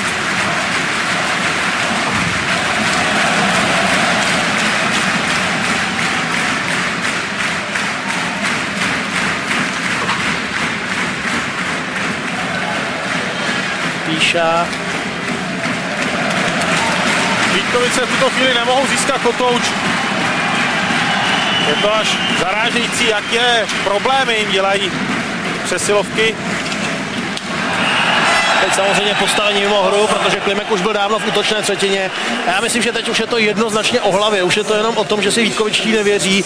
Naopak, Pardubice jsou si vědomi toho, že Vítkovickým přesilovka nejde. Je to vidět i v té odvaze při přístupu. Přestože jsou ve čtyřech, tak občas vyrazí do pozic, do kterých by si možná za normální okolností netroufli. Teď jsme tam viděli třeba obránce Čilsta, který tam šel do téměř beznadějné pozice do rohu, ale Vítkovice takový problém se zpracováním, to Čilsta zvládl. Máš naprostou pravdu, Vítkovicím v té přesilovce chybí pohyb a přesná, přesné kombinace a Pardubice už to začínají využívat. Takže další řekl bych bez problémů ubráněná Vítkovická přesilovka tady ze, stranu Pardubic, ze strany Pardubic. Krenželok. Sotva jsou soupeři Vítkovic v plném počtu jsou Vítkovice mnohem nebezpečnější. Je to tak a musím říct, že se divím tomu, proč Vítkovice ty přesilovky prostě nezjednoduší a nenatáhnou se 20 hráči do toho předbrankového prostoru před Dominika Haška, kde opravdu je největší tlak a ty obránci rychle ten kotouč nahodí třeba i tahem, takovým tím dětským nahozením, ale aby ten kotouč skákal, aby bylo o co bojovat, protože zatím si nevytvořili přesilovce mimo jedné šance v první třetině vůbec nic. Když v podstatě než něco vymýšlet, tak prostě hrát to, co se snaží hrát třeba při hře 5 na 5 i od mantinelu z rohu nahazovat puk před branku. Je to tak.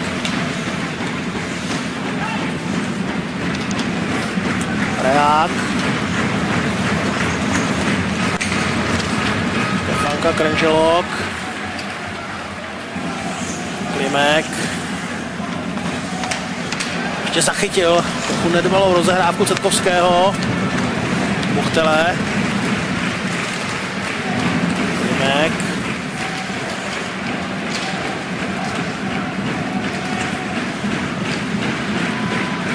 Krenželok, Štefanka.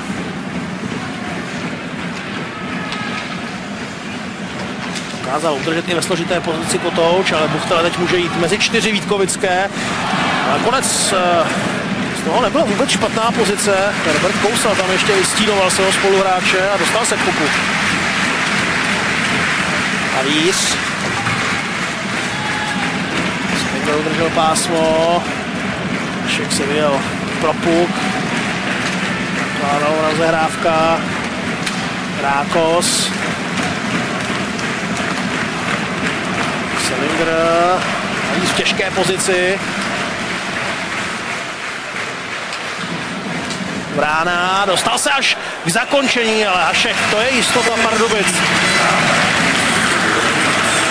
Krásná individuální akce.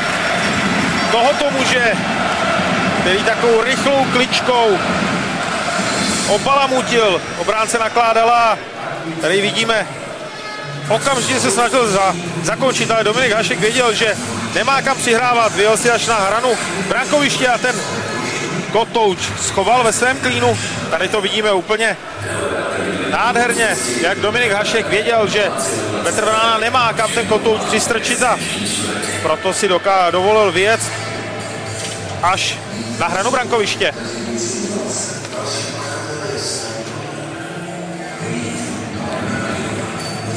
18 zákroků už stihl Dominik Hašek za těch eh, zmála 30 minut druhého finále. Zatím stále Vítkovice dokázali dát za celou finálovou sérii jediný gól Haškovi.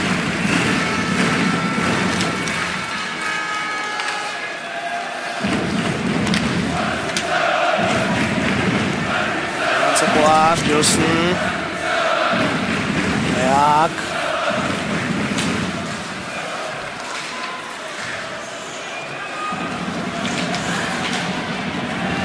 Somík má před sebou trochu prostoru a využil toho ke kličce a byl faulován.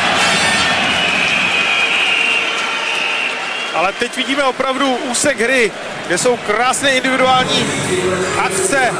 Předtím to byl Vrána, teď vidíme Somíka, který vycvičil obránce Sičáka takovým způsobem, že ten ho musel faulovat, protože... Rehák tam byl. To byl Rehák, omlouvám se.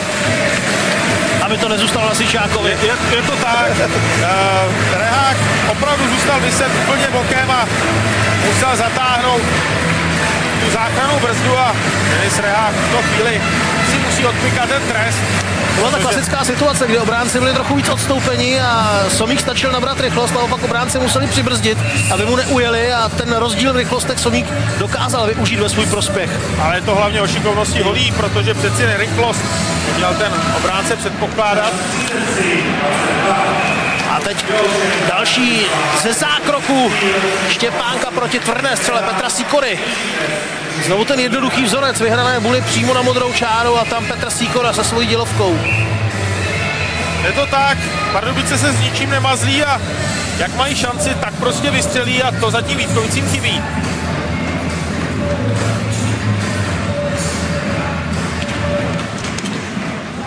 Tentokrát Burger sice uspěl na hazování, ale pomohl si Bruslí. A to se podle pravidel nesmí, takže místo něj půjde Treje proti Somíkovi do dalšího souboje na Buli. Šárový rozhodčí Bádal celá správně přerušil hru. To je jedna z nejzkušenějších rozhodčích, eh, kteří hrají, který pískají Extraligu Bádal Pouzar. Že na extraligových pozičních pohybují dost dlouho. Marinka teď zkušeně vyhodil.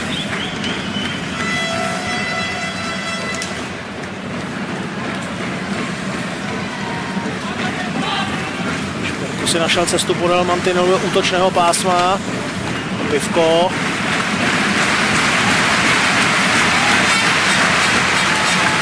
Píšala střela ještě Štěpánek.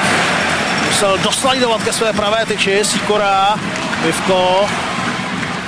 Zkusil na teď Špirkovi a Treje vyhazuje. A jaký to rozdíl přesilovce Vítkovic Pardubic? To je opravdu diametrální rozdíl v tom zakončení, v té snaze ohrozit bránu. Ale i třeba v tom přechodu do útočného pásma. To sice pardubickým nevyšlo, ale před chvilkou jsme zase viděli, jak snadno vlastně Špěrko individuálně zavezl kotouč. Pardubičtí se rychle rozestavili a už byli připraveni v pozicích. Kotouče létali z hokejky na hokejku. To se špatně brání, když mužstvo dobře spolupracuje a ještě je v pohybu a má přesilovku. Znamená, že jich je opravdu o jednoho nebo o dva víc a tady to vidíme. jak na dlani. Ještě 50 sekund zbývá z pardubické přesilovky. Kládal.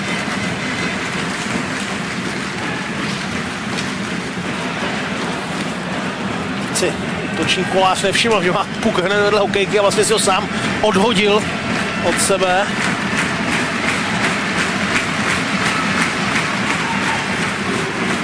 A Štěpánkovi nezbývalo nic jiného, než podržet kotouč v lapačce.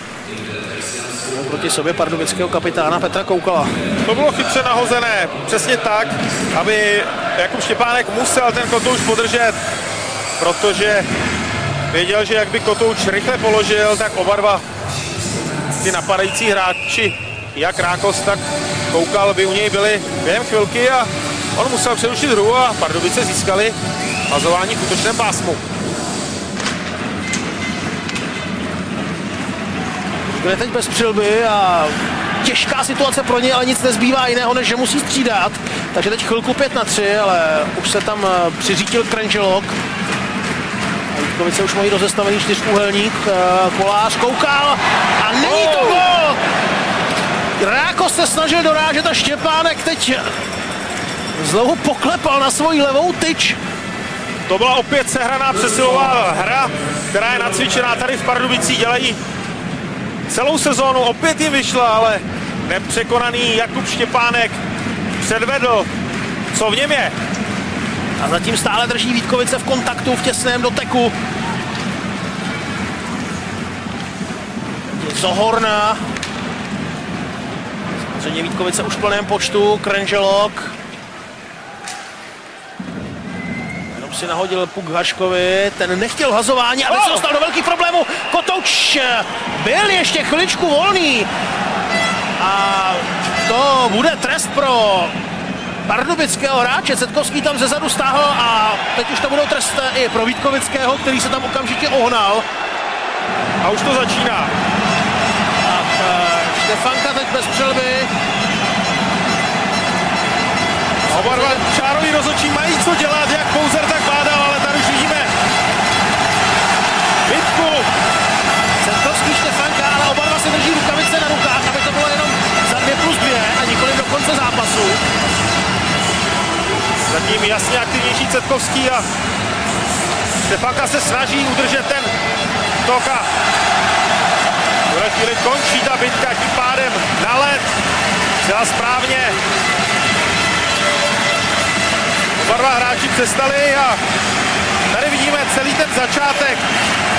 Dominik Hašík se snažil rozehrát kotouč, ale ten tam se okamžitě vrátil do toho brankoviště. Dominik Hašek si správně hned lehl dokázal ten kotouč dostat za záda. Tady vidíme, jak okamžitě zareagoval, ale ten kotouč zůstával ležet a Štefanka se snažil ten kotouč prošťourat. Musím říct, že o Štefanky tohle bylo naprosto v pořádku, protože on hrál kotouč, který byl volný. Naprosto v pořádku, ale v tuhle chvíli každý obránce musí zareagovat tak, nebo každý hráč tak, že musí toho hráče dostat co nejvíc od brány a Štefanka to, co měl udělat, udělal zcela správně, důrazně šel za kotoučem, Setkovský na druhé straně se okamžitě snažil dostat pryč od brány. Jsem zvědav, jak rozhodčí vyřeší celou situaci. První signalizovali eh, nedovolený zákrok Předkovského. To byl ten moment, kdy on zezadu eh, Štefanku stáhl. Tak vidíte, že Štefanka jde do kabiny.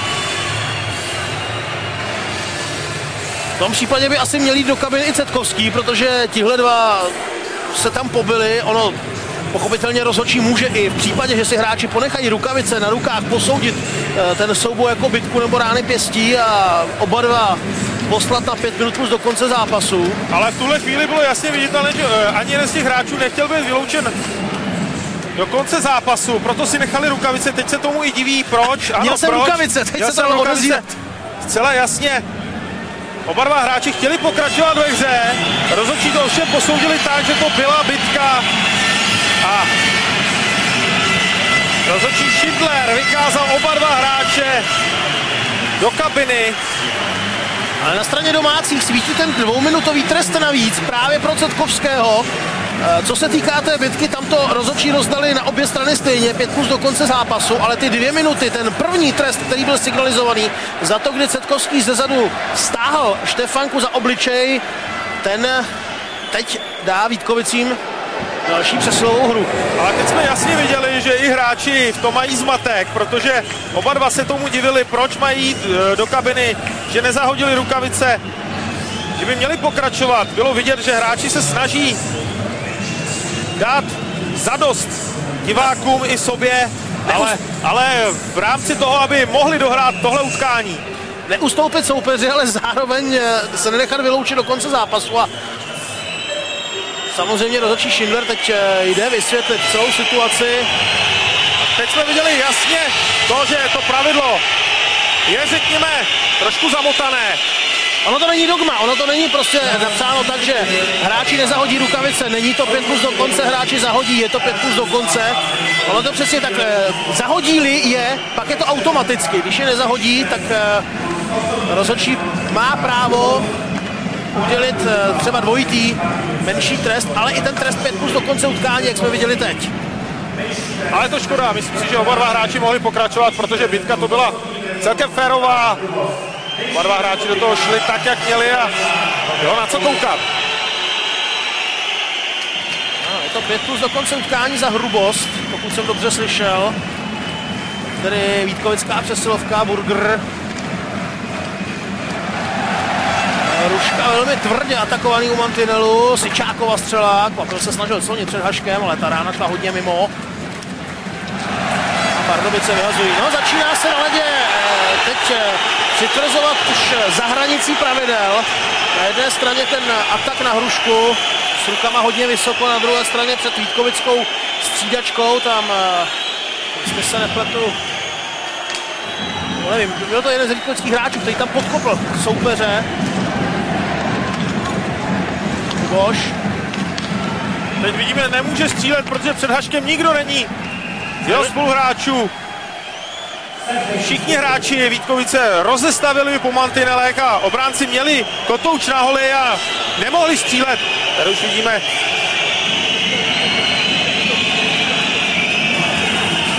Jurečka to nakonec vzal na sebe a vypálil. Tady se ale ještě jednou můžeme podívat na tu předchozí přesilovku a na to, proč děkoval Jakub Štěpánek své levé tyčce, když Rákos prohodil mezi jeho betony puk, ale až na protější tyč.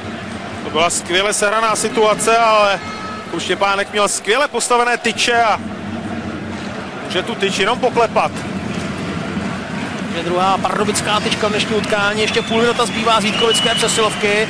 Viktor Ujčík už jde před branku, Ubošova rána, Hašek vyrazil.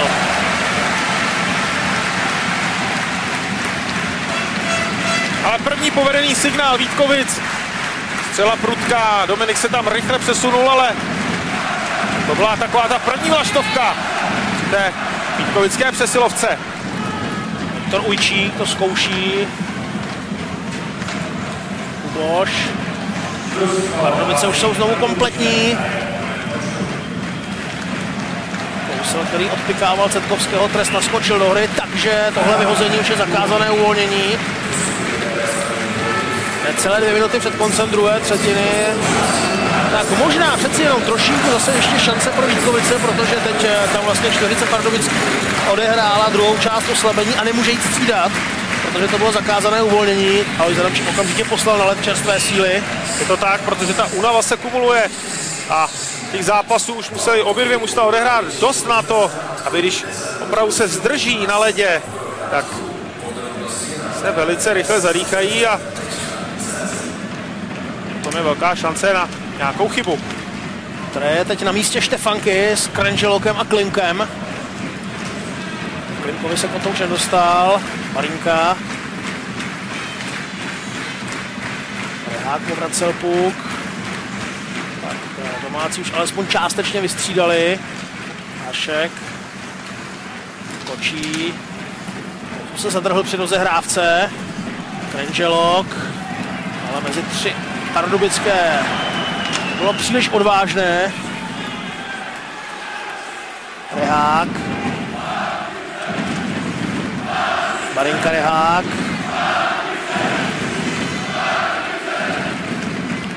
A ještě tentokrát raději podrží Kotouč, protože jeho spoluhráči nebyli úplně dostřídaní, ta obrana tam stále zůstávala stejná a teď eh, tedy taktických důvodů Dominik Hašek raději riskne to hlasování po své levici. Já myslím, že Dominik Hašek i správně viděl, že za obránci hned byli napadající výkovičtí hráči a musel na to reagovat. On by jinak ten kotouč opravdu hrozně rád rozehrál, protože dokáže tu hru velice zrychlit a hazování u něj ve třetině, to je výjimečná situace. Ta statistika, kterou jsme viděli u Dominika Haška, to byla statistika bez dnešního utkání. Teď ovšem přibydou další zákroky, protože Kotouč vyhodil Rákos přímo mimo hrací plochu. Dostane dvě minuty za zdržování hry a Vítkovice si tak mohou znovu vyzkoušet činnost, která jim v letošním playoff moc nejde, tedy přesilovku. Ta poslední přesilovka vypadala zatím dnes nejlépe. To směl naprostou pravdu. Je to tak, dostali se, dokázali se dostat do šance, tady vidíme to vyhození Daniela Rákose, který nezvládl ten kotouč, podal mantinelu poslat do středního pásma a poslal ho až na lavici časoměřičů a v tuhle chvíli si to musí odsedět a uvidíme, jak naloží Vítkovice s další přesilovkou. Ale budou muset začít až ze střední třetiny. Barinka, je Kolář nejprve jen tak, takže nezachytil Barinkovou přihrávku, teď už může jít dopředu, stále Kolář. Tentokrát si nerozuměli úplně s Koukalem, ale pokračují v tom získávání času. Znovu přesilovka, kterou možná rozdělí přestávka, protože do konce třetiny zbývá půl minuta. Nakládal.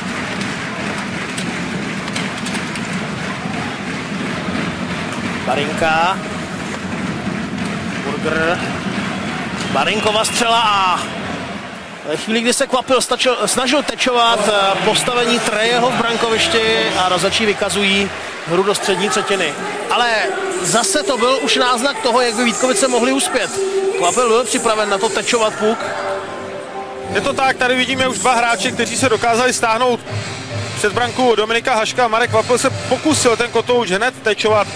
Ovšem, Torik Trej myslím, že jel do toho chráněného území každého brankáře a myslím si, že Alois Adamčík má o čem přemýšlet, protože ty přesilovky jim stále nejdou a jsou ve finále a z přesilovek zatím nic moc. No a už je to 90 minut, co nedokázali dát Vítkovice Dominiku Haškovi gól, netrefil se na ně Viktor Ujčík, který mířil do horního růžku, ale přestřelil branku a ve druhé třetině už tuhle statistiku Vítkovice nenapraví. 62 sekund přesilovky si odnášejí do třetí části, ale také si odnášejí jednogólový deficit, protože domácí pardubický i ten vede nad Vítkovicemi 1-0.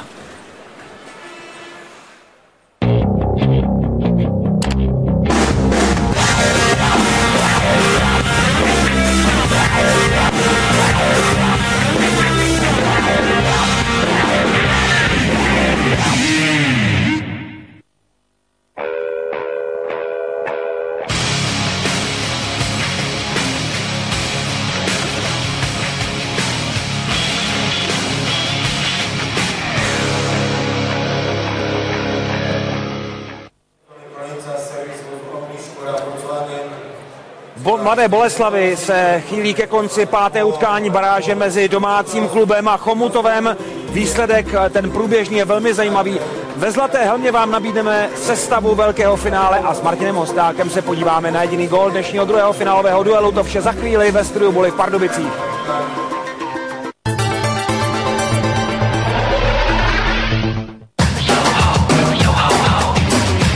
Kapitán ví, jak se chovat k dámě a její spolubydlící a její sousedce a někomu, koho si matně pamatuje z fitka. Kapitán najde řešení v každé situaci. Kapitán vždy dodrží i ty nejbláznivější sásky. A co ty? Máš v sobě kapitána? Captain Morgan Original Spiced Gold. Skvělý s kolou.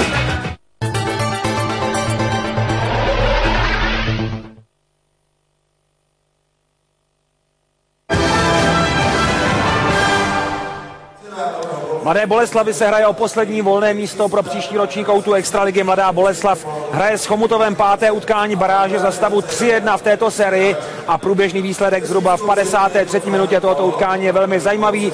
Mladá Boleslav vede nad Chomutovem už 5-1. Tomáš Sikora jednoznačně mužem zápasu. Mladoboleslavský útočník dva goly dal a na dva další přihrál.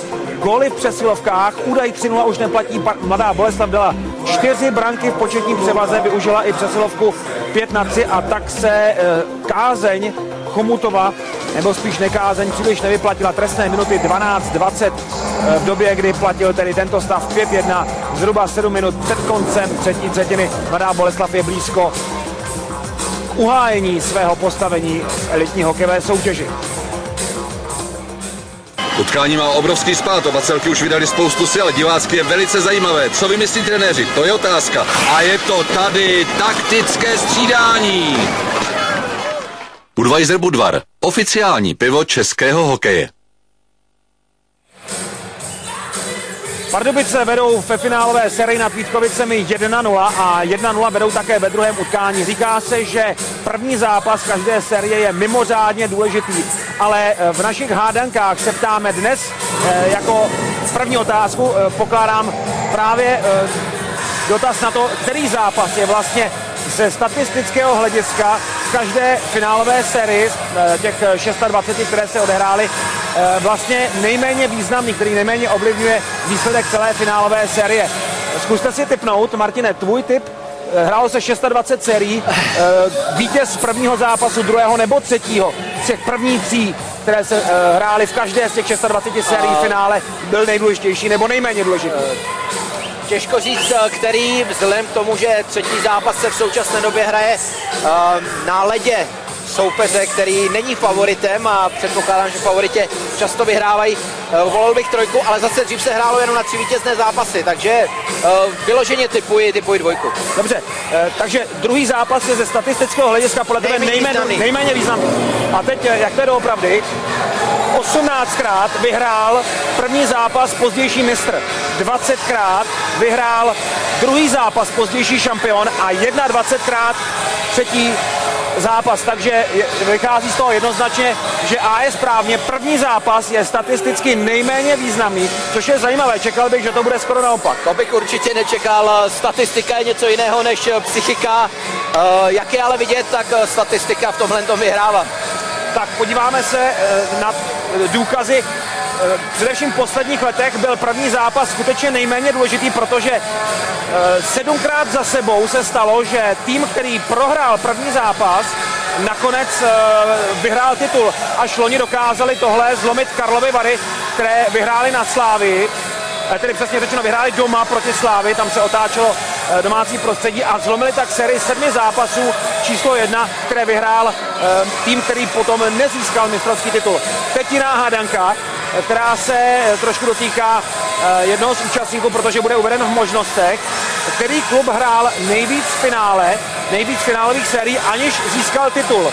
Máme tři možnosti, může to být buď Kladno, Jihlava nebo Vítkovice. Takže playoff, nejvíc účastí ve finále, aniž by klub získal titul. Playoff se hraje od roku 86 pravidelně, pravidelně, pravidelně. A já si myslím, že od té doby má poměrně špatnou statistiku, jak Kladno, tak i Hlava. Oni historicky jsou na tom velice dobře, takže v tomhle tom bych typoval Vítkovice, které byly zřejmě nejvíckrát ve finále a titul v playoff nezískali. A my se podíváme na, důzka, na důkaz. Martin Hosták typoval správně, protože Jihlava získala titul v roce 1991 a také v roce 1971. Vítkovice nezískali titul nikdy. Ani v roce 93, kdy prohráli se Spartou své první finále. V roce 97 finále se Setírem 0-3 v sérii. Vítkovice ani na druhý pokus finále nevyhráli. V roce 2002 Aloj Zadamčík znovu proti Spartě 1-3 v sérii a znovu stříbrný tým, takže Vítkovice nevyhráli nikdy v finále, zatímco Kladno ve finále v playoff ještě nikdy ani nebylo. A teď třetí hádanka. Zajímá nás, který tým, stalo se to jenom jednou v historii playoff, prošel k titulu bez jediné prohry, tedy neprohrál ani jeden zápas. Tři možnosti. Byly to buď Pardubice v roce 1989, Sparta v roce 2000, anebo Vsetín v roce 1996. Jeden z nich to dokázal. Určitou nápovědou byla ta tabulka, kterou si tady ukazoval před zápasem, kdo má kolik zápasů bez porážky v řadě, takže z toho mi vyplývá Sparta Praha. A je to zase správná odpověď, i když série ostatních dvou účastníků které jsme nabízeli, byly rovněž perfektní. Sparta vyhrála první utkání eh, ve čtvrtfinále s Pardubicemi, vyhrála doma nad svým soupeřem i po druhé a vyhrála tady v Pardubicích třetí zápas. 3 ve čtvrtfinále. Série s Litvínovem a výhry v obou domácích zápasech a na nájezdy také v šestém utkání semifinále. V finále se Vsetinem výhra v obou domácích zápasech a poté jediná branka Davida Výborného ve třetím utkání. Sparta vyhrála všech devět zápasů playoff 2000. Zajímavé okolnosti a zajímavé statistiky provází 26 finálových sérií v historii našeho playoff. Teď vám ale nabídneme jinou anketu, v které rozhodujete vy, televizní diváci. Vybíráte totiž nejhezčí akci této sezóny, včetně, a to je letos poprvé, včetně nejhezčích momentů letošních vyřazovacích zápasů. Tady je naše nabídka ve Zlaté helmě.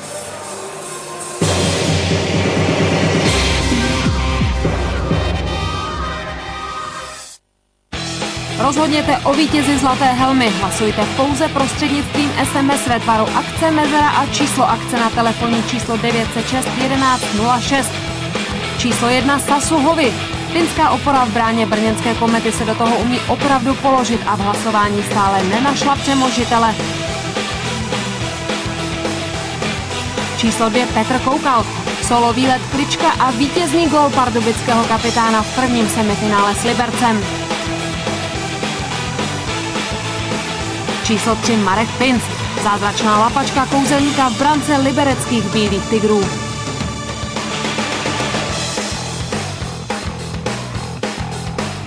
Číslo 4 Jiří Šimánek.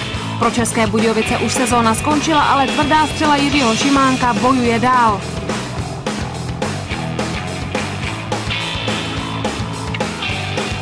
Číslo 5 Jaroslav Balaštík. Blachák zlínského kapitána zakončující souhru s ofenzivním dvojčetem Petrem Leškou.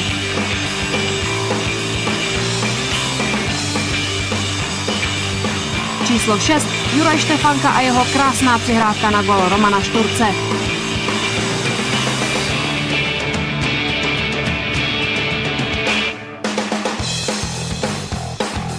Svého favorita podpořte prostřednictvím SMS. Jednička Sasuhovi. Dvojka Petr Koukal. Trojka Marek Pinc. Čtyřka Jiří Šimánek. Pětka Jaroslav Balaštík. Šestka Juraj Štefánka.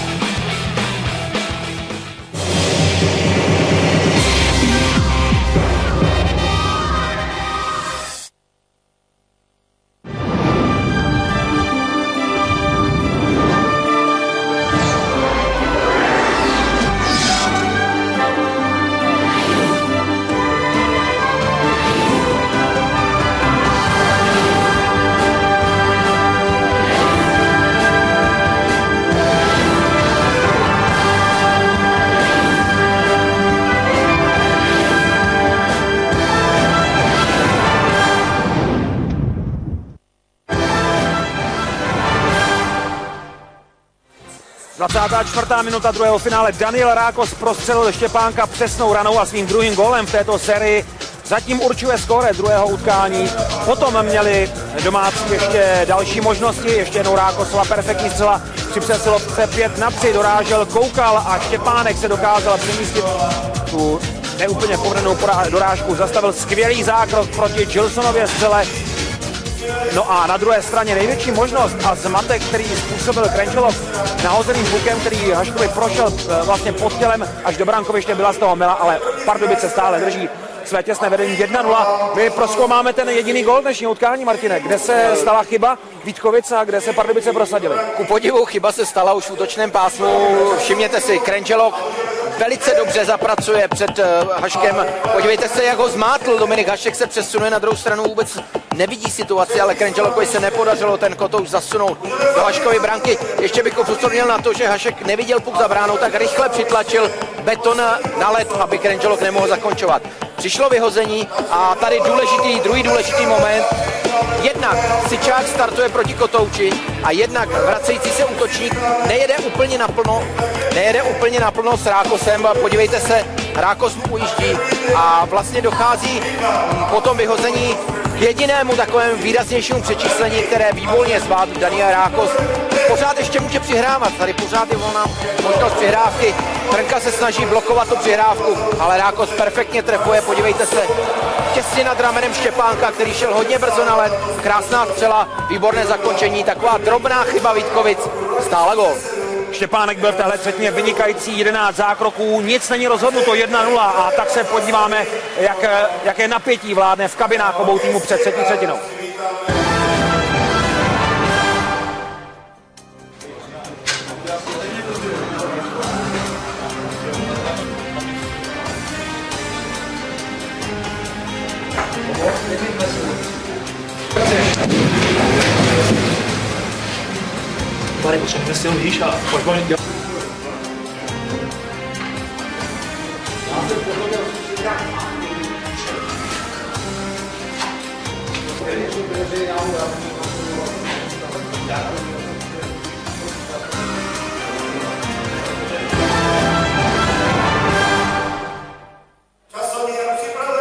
Vítkovice ztrácejí gól na domácí mužstvo a pokud mají pánové v něčem zatím problém v téhle finálové sérii, eh, co se týče vlastní hry, tak jsou to přesilovky. Včera čtyři bez gólu, dneska čtyři bez gólu. Začnou početní převaze třetí třetinu.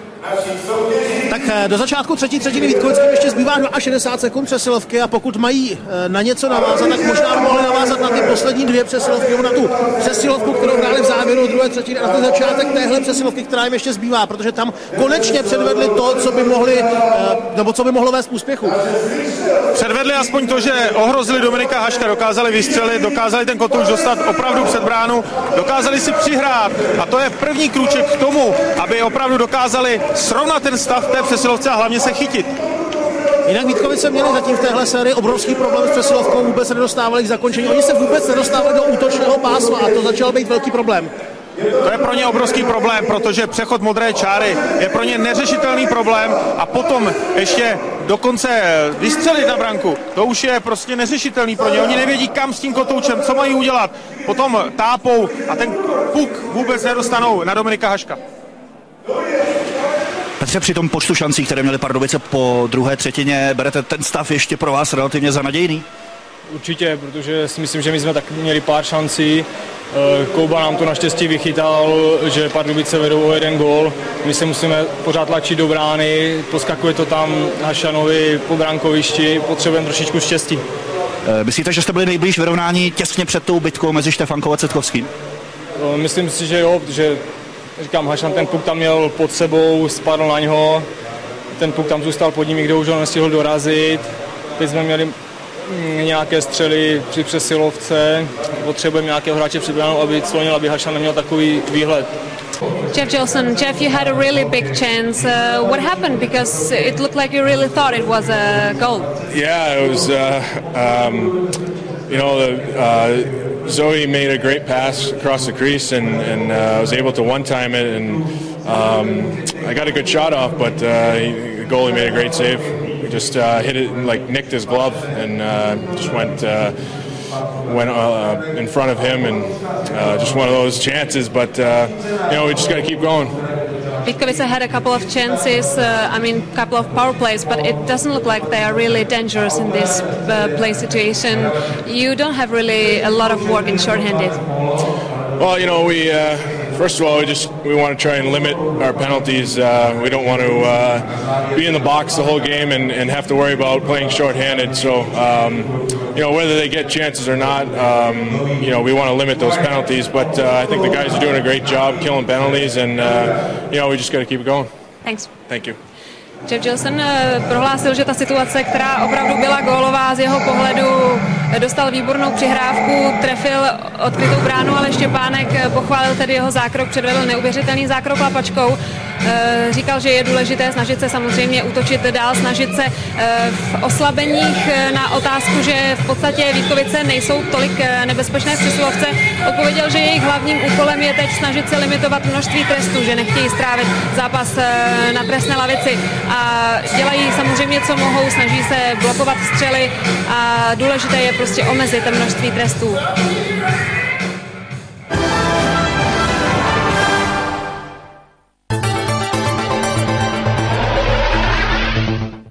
Startujeme novou éru v péči o prostatu. GS Triomen Quattro.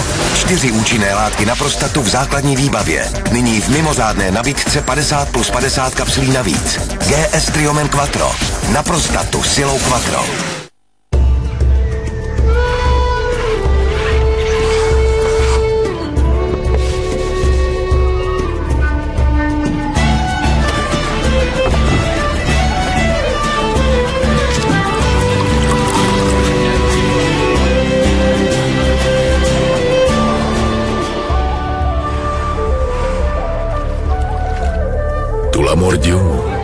Legendárně jemná irská whisky.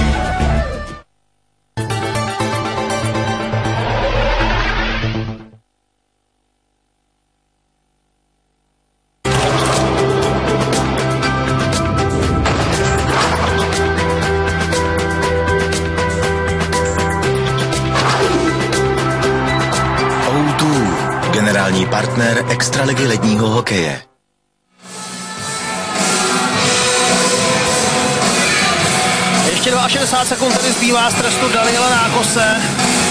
Zatím jediného střelce utkání. A to měl Daniel Nákos na hokejce ještě jeden gól, ale ten potom do ní sice prolétl mezi betony. Jakuba Štěpánka se e, do branky Vítkovic nedostal, protože se odrazil od tyčky. Tedy bude sledovat Daniel Rákos, e, jak si povede další přesilovková sestava Vítkovic. Tak teď zase Ujčík s Burgerem a Vránou. Tak opravdu Alois Adamčík zkouší všechny možné kombinace.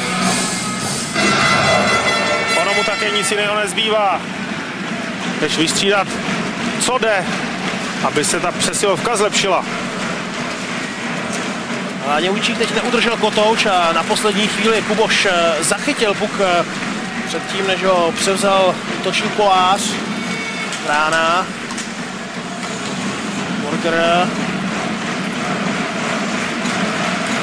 Brána. Burger. Se srovnal do pozice, ale trefil prvního bránícího hráče. To je to nejhorší, co hráč může udělat. Nakládal, vykopl kotouč do střední třetiny. Teď Půjčík. Brána nedosáhl na skákavou nabídku. Burger. Brána. Barinka. A zase do prvního blokujícího hráče. Já si pamatuju, že jeden trenér to trénoval tak, že před obránce dal židli se železnými nohami a chtěl, aby obránci prostřelili tu židli tak, aby ten kotouč dolétl před bránu a teď jsme to jasně viděli. Dvě střely, ale obě dvě zblokované. A Barinka už musel, musel odsouvat z modré čáry, protože za jeho záda naskakoval pardubický hráč, je po další Vítkovické přesilovce. Vítkovice se dvakrát pokusili vystřelit a dvakrát eh, ta střela skončila po nějakých eh, třech metrech na chráničích pardubického hráče. Ránce Kolár teď eh, dobře rozehrál na Pinota a Štěpánek se hlásí o přerušení hry, protože ten kotouč ho zasáhl možná někam do krku nebo na rameno, do klíční kosti. To byla bomba. Teď ji uvidíme znovu a mu, musím říct, že brankář, když dostane takovou tu ránu na rameno, kde opravdu není nějaký velký chránič a myslím si, v tuto chvíli to šlo přesně do toho rozhraní krku a, a ramene. Je to velice bolestivé. Myslím si, že Jakub nechce střídat, chce dochytat. Ale je možné, že to opravdu prošlo někde, kde končí ten chránič a začíná chránič krku nebo přilba celá. Tam opravdu se může ten kotouč dostat jenom kousíčkem na nějakou kost a na neštěstí je připraveno. Ale snad to bude v pořádku. Štěpánek ještě rozhýbává svoji levou ruku, tak to vypadá, že to skutečně bylo tady na klíček, na klíční kost. Oklepe se a půjde do toho znovu.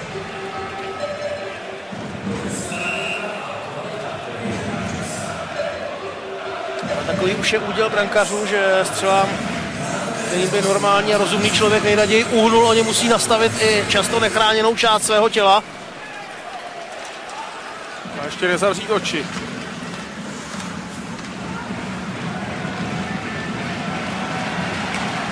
Tady další pardubický ostrostřelec Sikora, který se tam prodral až téměř k zakončení.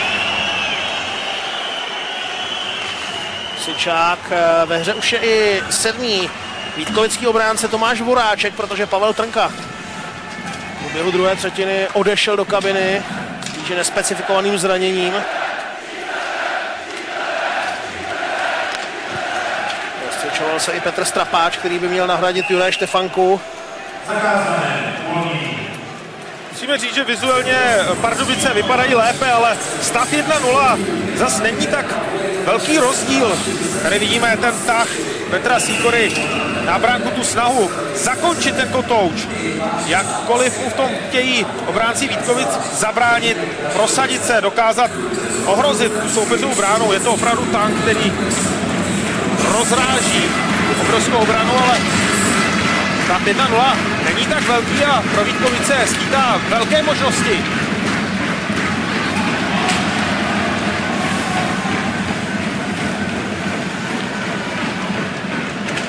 Lukáš nahodil, který se také dostává do hry. Na místo Cetkovského.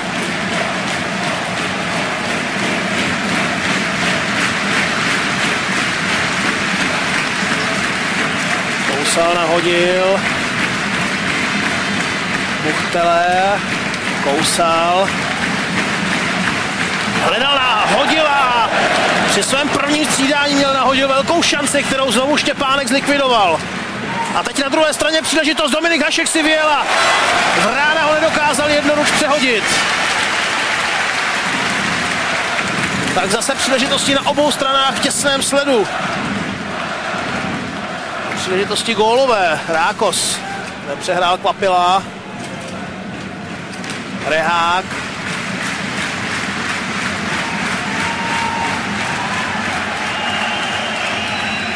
Havíz, ten kotoč byl tečovaný, takže to není zakázané uvolnění. Havíz musí rozehrávat. A nakonec nahodil. Rehák.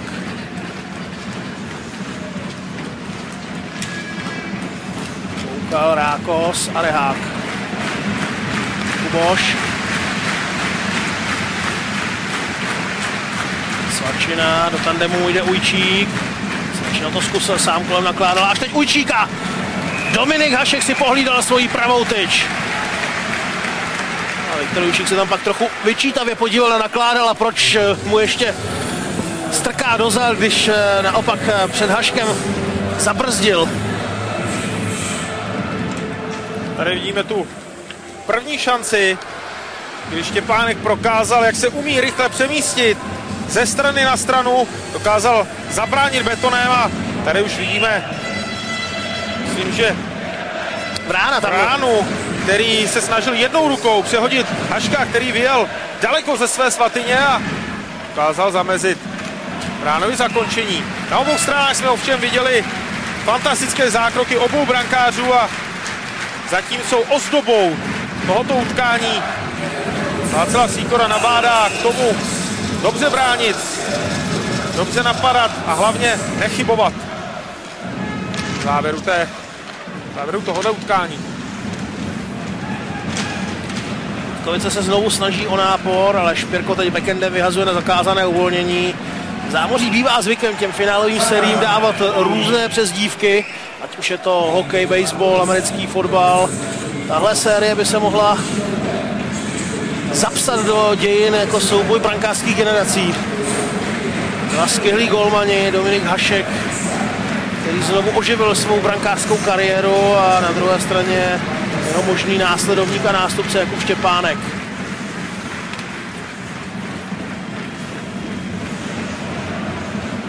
Žil jsem si teď sám trochu zkomplikoval situaci. Špirko přenechal do tandemu na Somíka. Pinot tentokrát nedostal puk na střelu, ale Špirko se ještě ke kotouči dostal. Pinot snažil se backendem rychle přihrávat před branku. Somíkova střela z otočky a chvilku všichni hráči hledali puk, až ho našel eh, obránce Gilson. No ale hodně baseballové. Když se o baseballu hovořila, nám opravdu předvedl, jak dokáže ze vzduchu trafit kotouč. Píšovo nahození, Zohorná. Pivko. Zohorná. Barinko ček, Barinka čekal na jeho pohyb. Sikora. Štěpánkem velký provoz, taky tohle za nahození zápěstím od Píše mohlo být nebezpečné. Sikora se tlačí před bránu, nakonec eh, se branka jenom tak eh, naklonila a zase vrátila do původní pozice. Ale Kotouč mířil mimo tyče a teď obrovská šance pro Sikoru. Kuboš ale se střídačky stačil naskočit a navíc Kvapil se vrátil a Sikorovi zamezil ve střele. To bylo ale na hranici faulu, protože Sikora si tam vyklepával ruku v tom zákroku. Ten Kvapil, hráčů. Kvapil a Treje na druhé straně. Kvapil. Kuboš. Otočka Hrušky, ale práce Kolár zapracoval a teď ještě v rohu bojuje s Trejem. Víčík spěchá za Kotoučem.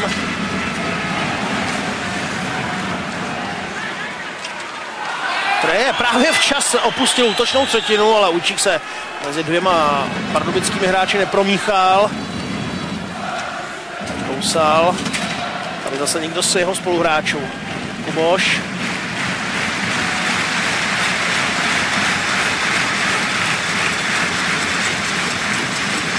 Těžká přihrávka pro Svačinu. Kousal. Rákos.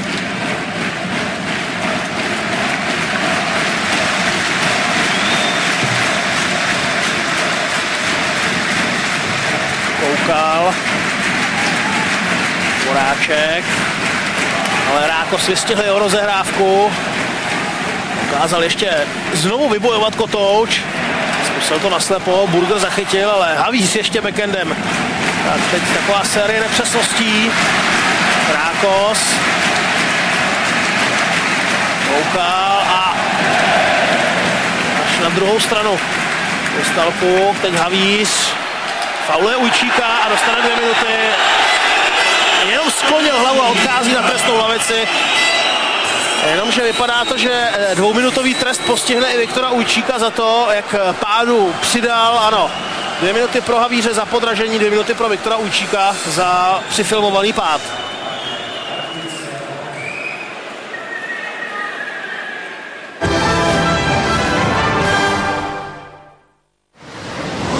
Tento pořad sponzoruje sázková kancelář Tipsport, poskytovatel sázek po internetu www.tipsport.cz Život je hra. Hrajte ji naplno.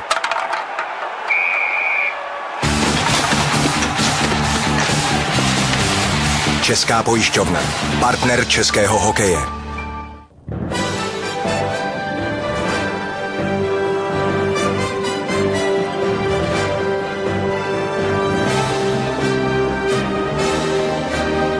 Stavíme nové byty Geosan Development.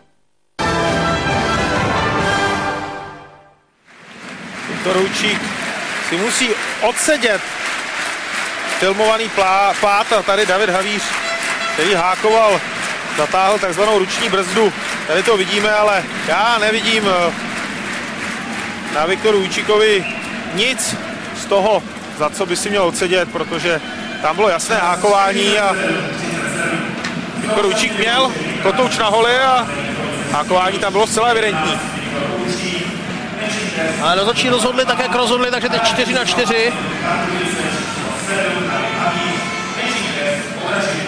V rámce Kolář zavezl. Barinka. Kvapil. Jeden z těch, kterým by mohl větší prostor vyhovovat. Ale zakličkoval před modrou čárou a zmátl tím nejvíc ze všech svého spoluhráče v ránu, který překročil modrou čáru. Alois Adamčík loni na Marka Kvapila vsadil a Marek Kvapil už loni ukázal, co dokáže. Hrál velice, velice dobře už playoff, pak se Vladimír Ružička vybral do takového předkempu na mistrovství světa. On pořád předvádí výkony, které drží Vítkovice ve hře. má šanci znovu ukázat něco ze svého umění. Teď dokázal zbrzdit, kvapil. Marinka si stěl před, eh, no, za branku a hledal eh, Vránu, který najížděl do brankoviště. Také pro Petra Sýkoru je větší prostor požehnáním a viděli jste dalšího ostrou střelu, se kterou měl Štěpánek problémy. Pivko mu tam skvěle odblokoval obránce. Umožnil mu se rozjet a napsáhnout a to je vždycky hodně nebezpečné. Další střelec Burger, lehce zahákovaný nakonec alespoň backendem a zase Dominik Hašek nechce vhazování ve svém obraném pásmu. Rychle rozehrál Zohorna, potom se vrátil do neutrální zóny. Kuboš, ještě půl minuta 4 na 4.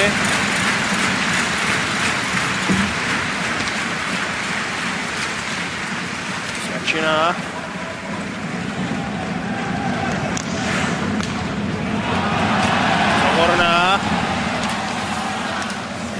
Možná nenechal vystřelit a ještě přimáčlo k mantinelu. A rozhodčí ukazuje, už toho nechte kluci a hrajte dál. Na druhé straně zase průnik Klimka. Moráček.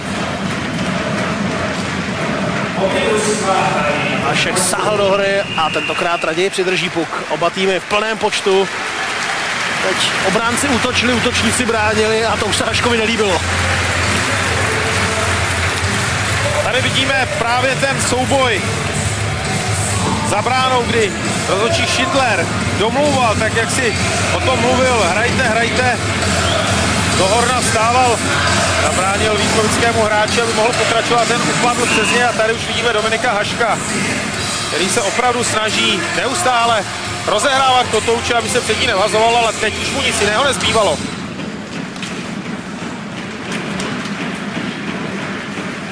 Vítkovice mají stále stejný problém, jak překonat Haška.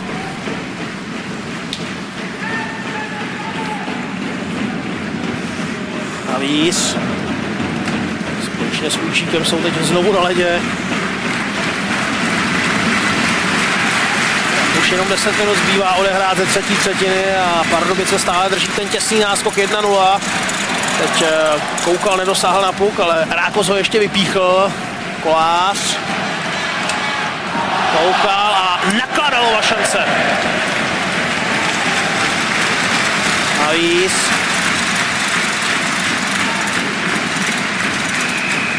A Štěpánkovi nezbylo, než puk podržet. Už se tam k němu znovu říčil Daniel Rákos.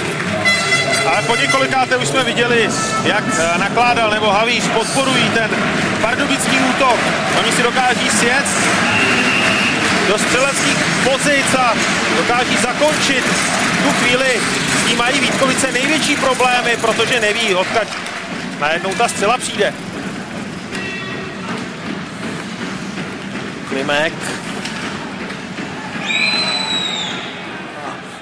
Kotouč nakonec od tvrzeného skla odražený mimo hru. Hazovat se bude ve střední části hrací plochy.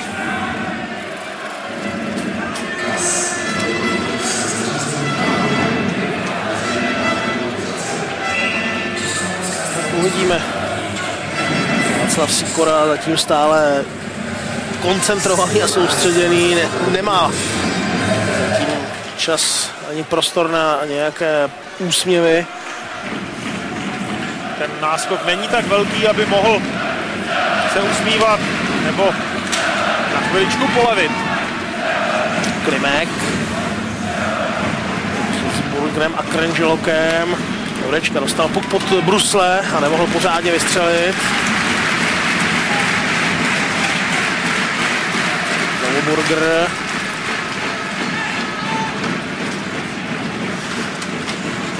Hašek. Gilson. Rehát před Síkorou. Poté udržel Gilson. Síkora, ale ten kotouč se odrazil příliš daleko před ně a ani se Síkorovým startem se prostě nedalo s tou situací nic udělat. A Síkora se také poslušně vrátil zpátky do defenzivní sestavy, do defenzivního rozestavení. Pardubice už přeci jenom trošinku začínají zavírat víc hru ve středním pásmu. třeba právě na pohybu Petra Sýkory to teď bylo velmi markantní, jak ty pokyny jsou jasně dány, už se nikam nežeňte, jenom když je šance, ale jinak eh, střední pásmo, past a tam zastavovat eh, proti útoky. Klapil neudržel kotouč, kousal. Pánek mu vyrazil puk zpátky na hokejku. Buchtele. Moráček. Tomáš Moráček. Vujčík. Sičák. Slačina.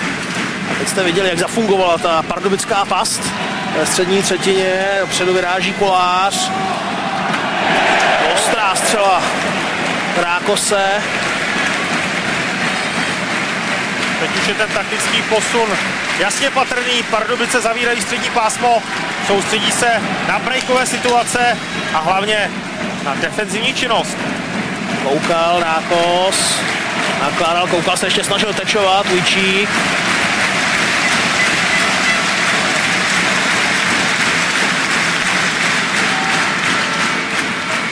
Moráček chtěl nastřelit, ale neprohodil puk přes modrou čáru. Pinot. Pokrát neobešel kolem Jurečky, Krangelo, Moráček. Somík Pardubicím teď skutečně ta past ve střední třetině funguje velmi dobře. Špirko.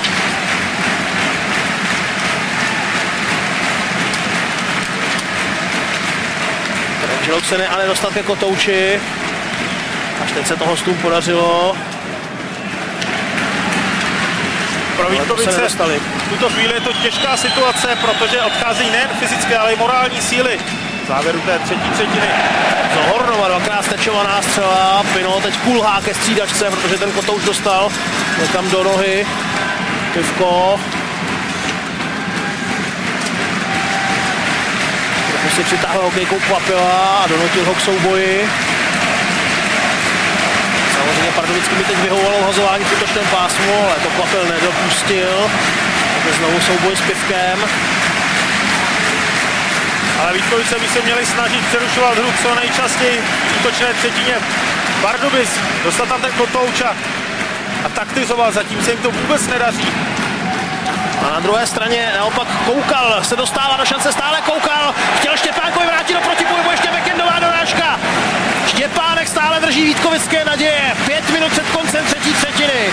To je kouzelník, to je opravdu kouzelník, protože tak obrovské šance, které dnes pochytal a drží stále Vítkovice ve hře. Musíme smeknout. Ale na druhé straně také čaroděj Dominik Hašek, teď Viktor Ujčík. Přepadl přes Havíře, ale udržel kotouč a nahodil ho do brankoviště, jenomže tam si Dominik Hašek dokázal zjednat dostatek klidu na to, aby přikryl puk. Dominik Hašek správně ten kotouč schoval. Tady vidíme, jak se Petr Koukal dostal do té skvělé příležitosti a opět vidíme Štěpánka, který vytáhl hůl, zamezil tomu zakončení, okamžitě se stavil na nohy. Tady vidíme, jak prošel, jak se tam natlačil celým svým tělem, dokázal si tam dát nohu, ruku.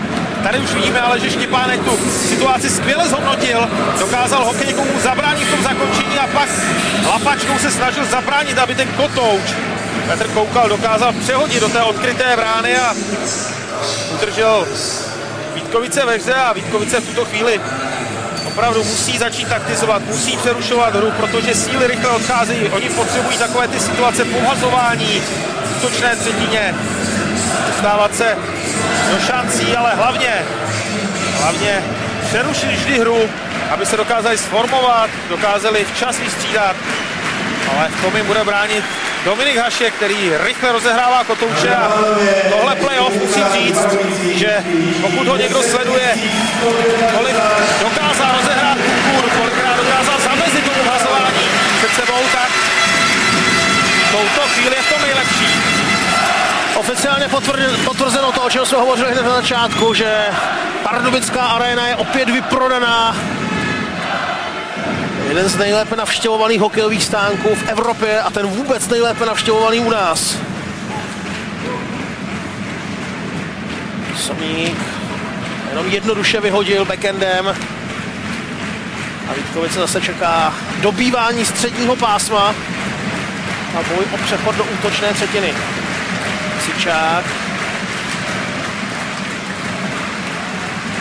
Šulčík. Dokázal zavést kotouč. Jenom chtěl nahodit na Haška, Pinot. A Voráček musí za pukem. Jen tak tak, eh, že se došoural k brankové čáře. Ale Vítkovičtí hráči by teď potřebovali zrychlit hru po křídlech, rozjet se a dostat ten kotouč před sebe. Teď e, přihrávka rukou. Zohorna rukou puk zbrzdil a Pivko se ho dotkl. Ale to ví i Alois Adamčík. Myslím si, že i tak hovoří se svými hráči, protože opravdu to založení útoku proti, té, proti tomu hroznu ve středním pásmu je strašně těžké. A hlavně pro hráče je to deprimující, když neustále se ten kotouč vrací za zády a oni nemají tolik možností vystřelit na soupeřovu branku.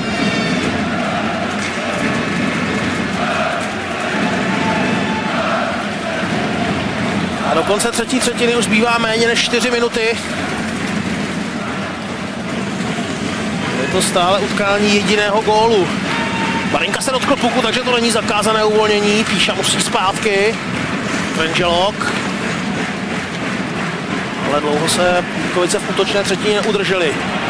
Píša. Marinka.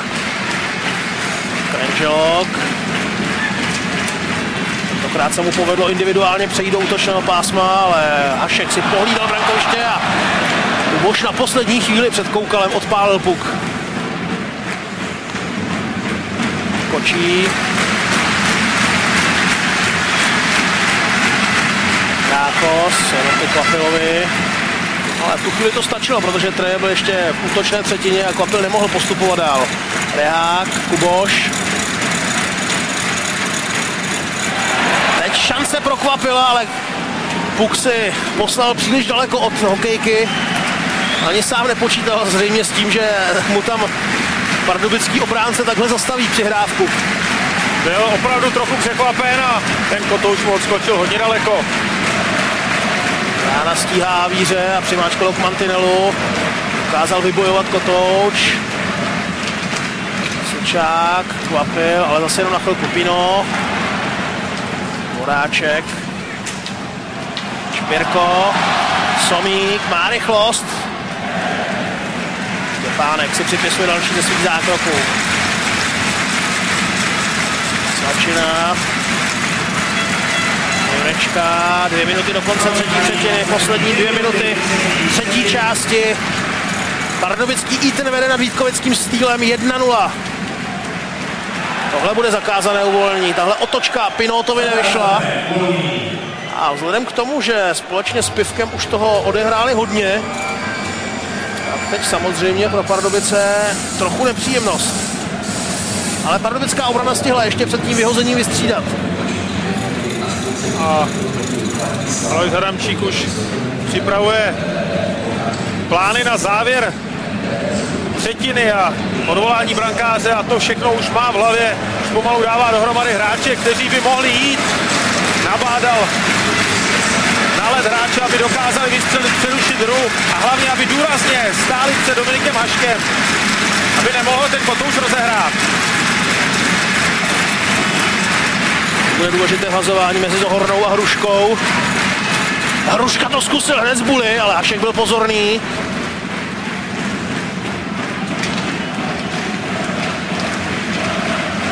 Vždycky dobrá zbraň, když centr umí vystřelit z buly, o tom by si mohl něco vyprávět. Hlavně to nikdo nečeká. Teď ale nečekali uh, Vítkovičtí obránci, že ten kotouč bude takhle poskakovat, dávali si přednost a Zohorna toho využil. Horečka s ním má teď spoustu práce. A jenom ho drží u mantinelu a tam to teď pardubickým náramně vyhovuje. Ano, je to taktika té hry udržet kotouč v rohu, proto ty hráči ten kotouč mají pod nohama, snaží se ho jakkoliv držet ve hře, musí se pohybovat a přitom ten kotouč přikopávat, rozhodčí pak nemůže přerušit hru a tím odevírají čas, už jsou tam dobrých 20 vteřin a je minuta do konce a pardubičtí hráči udělali přesně to, co potřebovali. A teprve teď rozhodčí přerušili hru. Hazovat se samozřejmě bude ve střední třetině, protože pardubičtí eh, byli hlavním výnikem přerušení hry, ale teď to naprosto vyhovovalo pardubickým. Dominik Hašek si dokonce během té celé situace vyjel až k modré čáře. Jako bych chtěl lépe vidět, co se děje. Tady vidíme, že Aleš Adamčík už žádá odechový čas, protože 58 vteřin před koncem zápasu se také může stát, že se vůbec nedostane k tomu, aby byla přerušená hra v útočné třetině a bude muset reagovat během hry a na to musí mužstvo připravit. Dá se celkem dobře odhadnout, kdo půjde na let na straně Vítkovic. Marinka Burger. Zatím i Jakub Štěpánek, i když tenhle setínský odchovanec bude spíš pošilhávat směrem ke střídece a čekat na ten pokyn, na to mávnutí. Ale už v tuto chvíli je to největší hrdina tohohle zápasu. Straně rozhodně. Jakub Štěpánek, na druhé straně. Kdo jiný než Dominik Hašek, kterého Vítkovičtí hráči ještě nedokázali překonat. A zatím kromě té jediné tečované střely v přesilovce, respektive v tom prvním finále utkání první třetině, Vítkovice nenašli recept na pardubického veterána a hrající legendu českého hokejového, české hokejové historie. Václav Sikora zareagoval tím, že tam dal první, kompletní první lineu, protože ví, že jsou velice ofenzivní, dobře bruslí.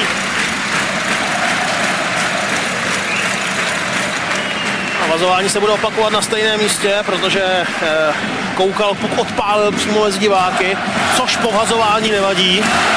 Po při vazování nevadí. Může se stát a vazování se bude jenom opakovat. Tentokrát brána úspěšný. Barinka. Burger už eh, pouze s jediným obráncem.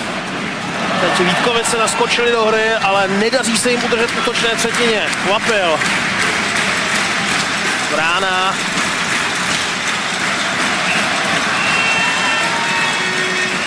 A další vazování u Vítkovické modré čáry, tedy přesně tam, kde to pardubickým vyhovuje. Ale opět jsme viděli, Vítkovice postaví hráči na modrou čáru, jsou bez pohybu. Marek Papel neměl komu nahrát. Václav Sikora jasně nabádá hráče, hrajte aktivně. Vystřídal. Díky se závěr tohle utkání. Pino teď dobře vystihl rozehrávku a sebral Kotouč a ještě obral Kvapila opuk. Vítkovice už nemají sílu. Špirko 15 sekund do konce třetí třetiny. Vítkovický styl by mohl spasit pouze zádak. Štěpánek vyrazil z branky, ale do konce zápasu a do konce třetí třetiny už jenom 5 sekund. A to už si pohlídá i obránce Kolář. Pardubice tedy porážejí Vítkovice 1-0, v sérii vedou 2-0 na zápasy, teď ještě rozmíška za pardubickou brankou, ještě poslední dohra tohohle druhého finálového utkání, ve kterém Pardubice 100% využívají výhodu domácího prostředí. A Vítkovický úkol zní, jak překonat Haška. Viděli jsme opravdu těsný výsledek, ale závěru se mi zdálo, že Vítkovicím došly síly, už neměli jak překvapit Pardubice, neměli jak je zatlačit a a pardubický let se snáší Berníky a Aloj Zadamčík má o čem přemýšlet. Jeden jediný střelený gol za 120 minut finálové série. To je vizitka tohoto muže, na jehož návrat na hokejové výsluní byl zvědavý celý hokejový svět. Já byl zvědavý hodně, musím říct, že diskuze o tom, jestli na to má nebo nemá, přesvědčil všechny. To, o čem jsme hovořili, je samozřejmě skutečností dva nejlepší hráči zápasu, oba brankaři, Jakub Štěpánek a Dominik Hašek. Dominik Hašek, který svoji 39 ponechal v NHL a pro domácí starty si znovu eh, oblékl dres s číslem 9, tak jak býval kdysi zvyklý. Tak pro Pardubice skutečně skvělý začátek finálové série po dvou zápasech. Pardubický ten 2-0.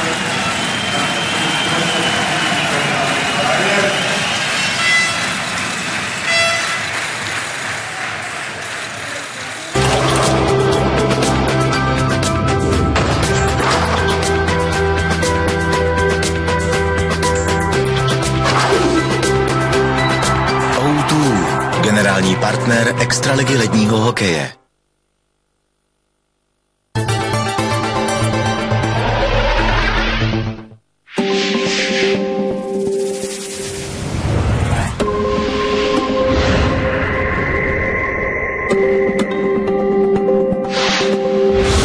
Poznejte, jaké to je prožívat skutečnou radost z jízdy. Využijte jedinečnou nabídku mimořádných cenových bonusů nejen na krásnou Mazdu 3, ale i na svižnou Mazdu 2 a na elegantní Mazdu 6. Nabídka platí pouze provozy skladem.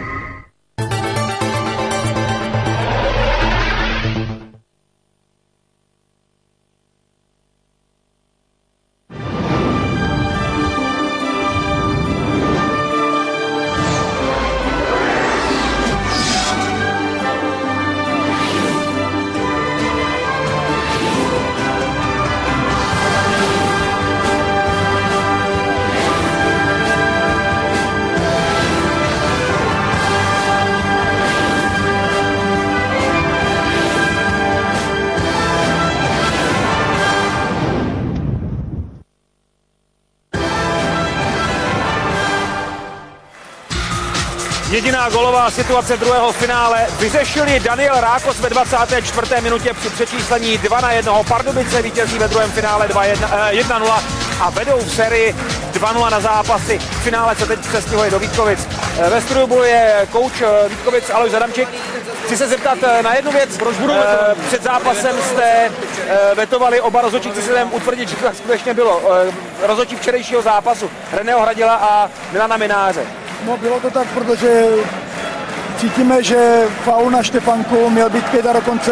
Ve včerejším utkání. Ve včerejším utkání a navíc, eh, když měl Hašek přilbu dole, tak neměl zaviněním našeho hráče, ale Havíř mu nadvedl ze zadu tak hůl, že vlastně sundal masku a i, a i Golmanovi, takže právě proto jsme názory, to byla hrubá chyba, která dost, dost ovlivnila utkání.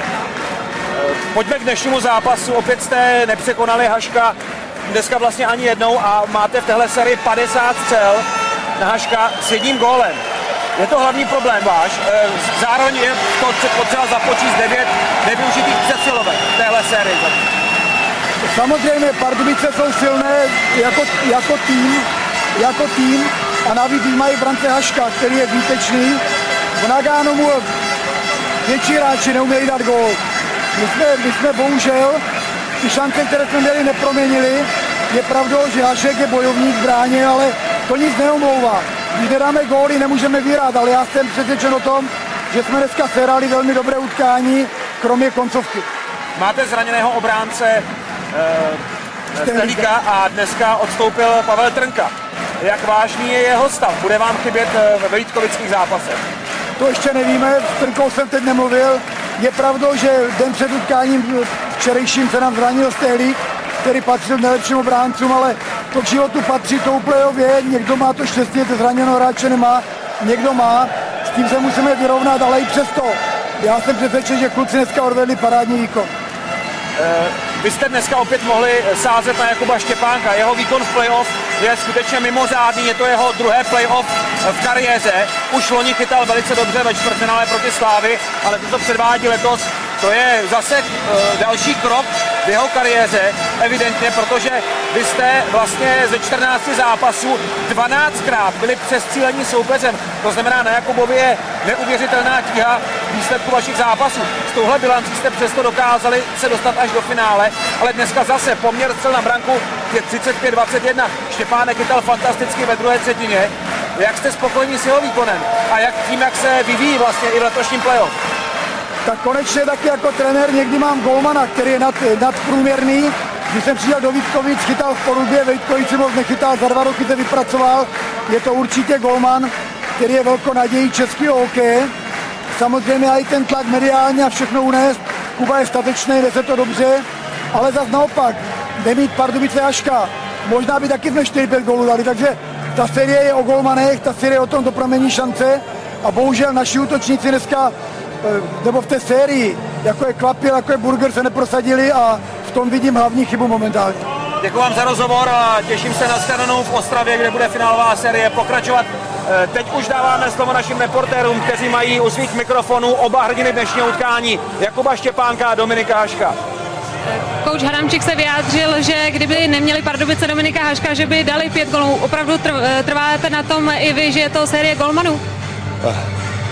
Tak já myslím, že když řeknu obráceně, že Jakub Štěpán byl, byl jejich nejlepší hráč, my jsme mohli dát ještě dva nebo tři další góly, ale ať už mu přálo štěstí, že jsme dali tyčku, nebo chytil výborný zákrok, tak, tak jsme dali jenom jeden gól. Dneska to bylo vítězství celého mužstva. Dneska jsme se na to nadřeli, a, ale prostě jsme to mužstvo udrželi a nenechali jsme jim ke konci ani vytvořit tlak, což, což si hrozně ceníme všichni v kabině. Nicméně pravda je taková, že jste inkasoval během dvou utkání jediný gól, dnes žádný.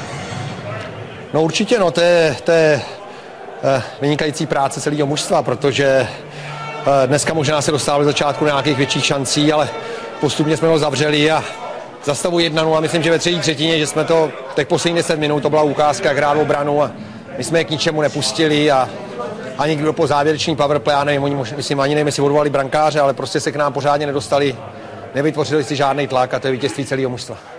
Důležitý moment Juraj Štefanka v obrovské šanci, eh, kdy vy jste samozřejmě potom tam proběhla bitka. Vybavujete si tenhle moment? Byla veliká šance na srovnání. Byla, já nevím, tam jsem udělal nějakou chybu, já jsem se snažil rozehrát půka a nějak mě přeskočil hokejku, nerozehrál jsem přesně tak, jak jsem chtěl, až do rohu a tam to někdo nahrával před branku, já jsem to zachytil bruslí a pak jsem si lehnul. Já, já nevím, já myslím, že zase taková šance nebyla, ten pokus jsem měl přikrytý a tam do mě ještě někdo šel a abych pravdu řekl, jak jsem byl zády, zády do hry, takže, takže jsem to nějak chytil, nevím jak, ale to se, to se mně líbilo, no, co se potom událo, protože kluci se zase postavili jeden za druhýho a, a Ceťa, Cetkovský prostě, toho si vážíme všichni v kabině, co tam, co tam pro nás udělal. Neuvěřitelný výkon, desáté vyhrané utkání v playoff, nový rekord. Opravdu? No, budíš no, příští zápas je nejdůležitější. Díky. Taky. Jakube, Vítkovice určitě podali tady lepší výkon než včera. I osobně cítil jste se líp než v tom prvním utkání. Tak jo, trochu jo, ale já jsem se cítil celkem dobře i včera, ale bohužel mi to napadalo a jako, bohužel no, jako hráli jsme líp, ale výsledek je stejný. Jak jste se naopak cítil po té ráně na začátku třetí třetiny, cítil jste ji i potom ve zbytku zápasu? Tak bylo mě to, ale tak potom v té hře jsem to nějak moc nevnímal, takže to bylo v pohodě. Byla nejtěžší ta pasáž ve druhé třetině, jejich přeslovka 5 na 3, vlastně po tom, co dali první gol. Tak určitě, no, kdyby tam přidali nějaký gol navíc, tak by to asi bylo pro nás těžší, ale jako nic to neřešilo, no, takže co k tomu říct. Eh, Jak se cítí brankář, pokud podá výborný výkon, ale přesto to nestačí eh, na vítězství, na vyrovnání té série?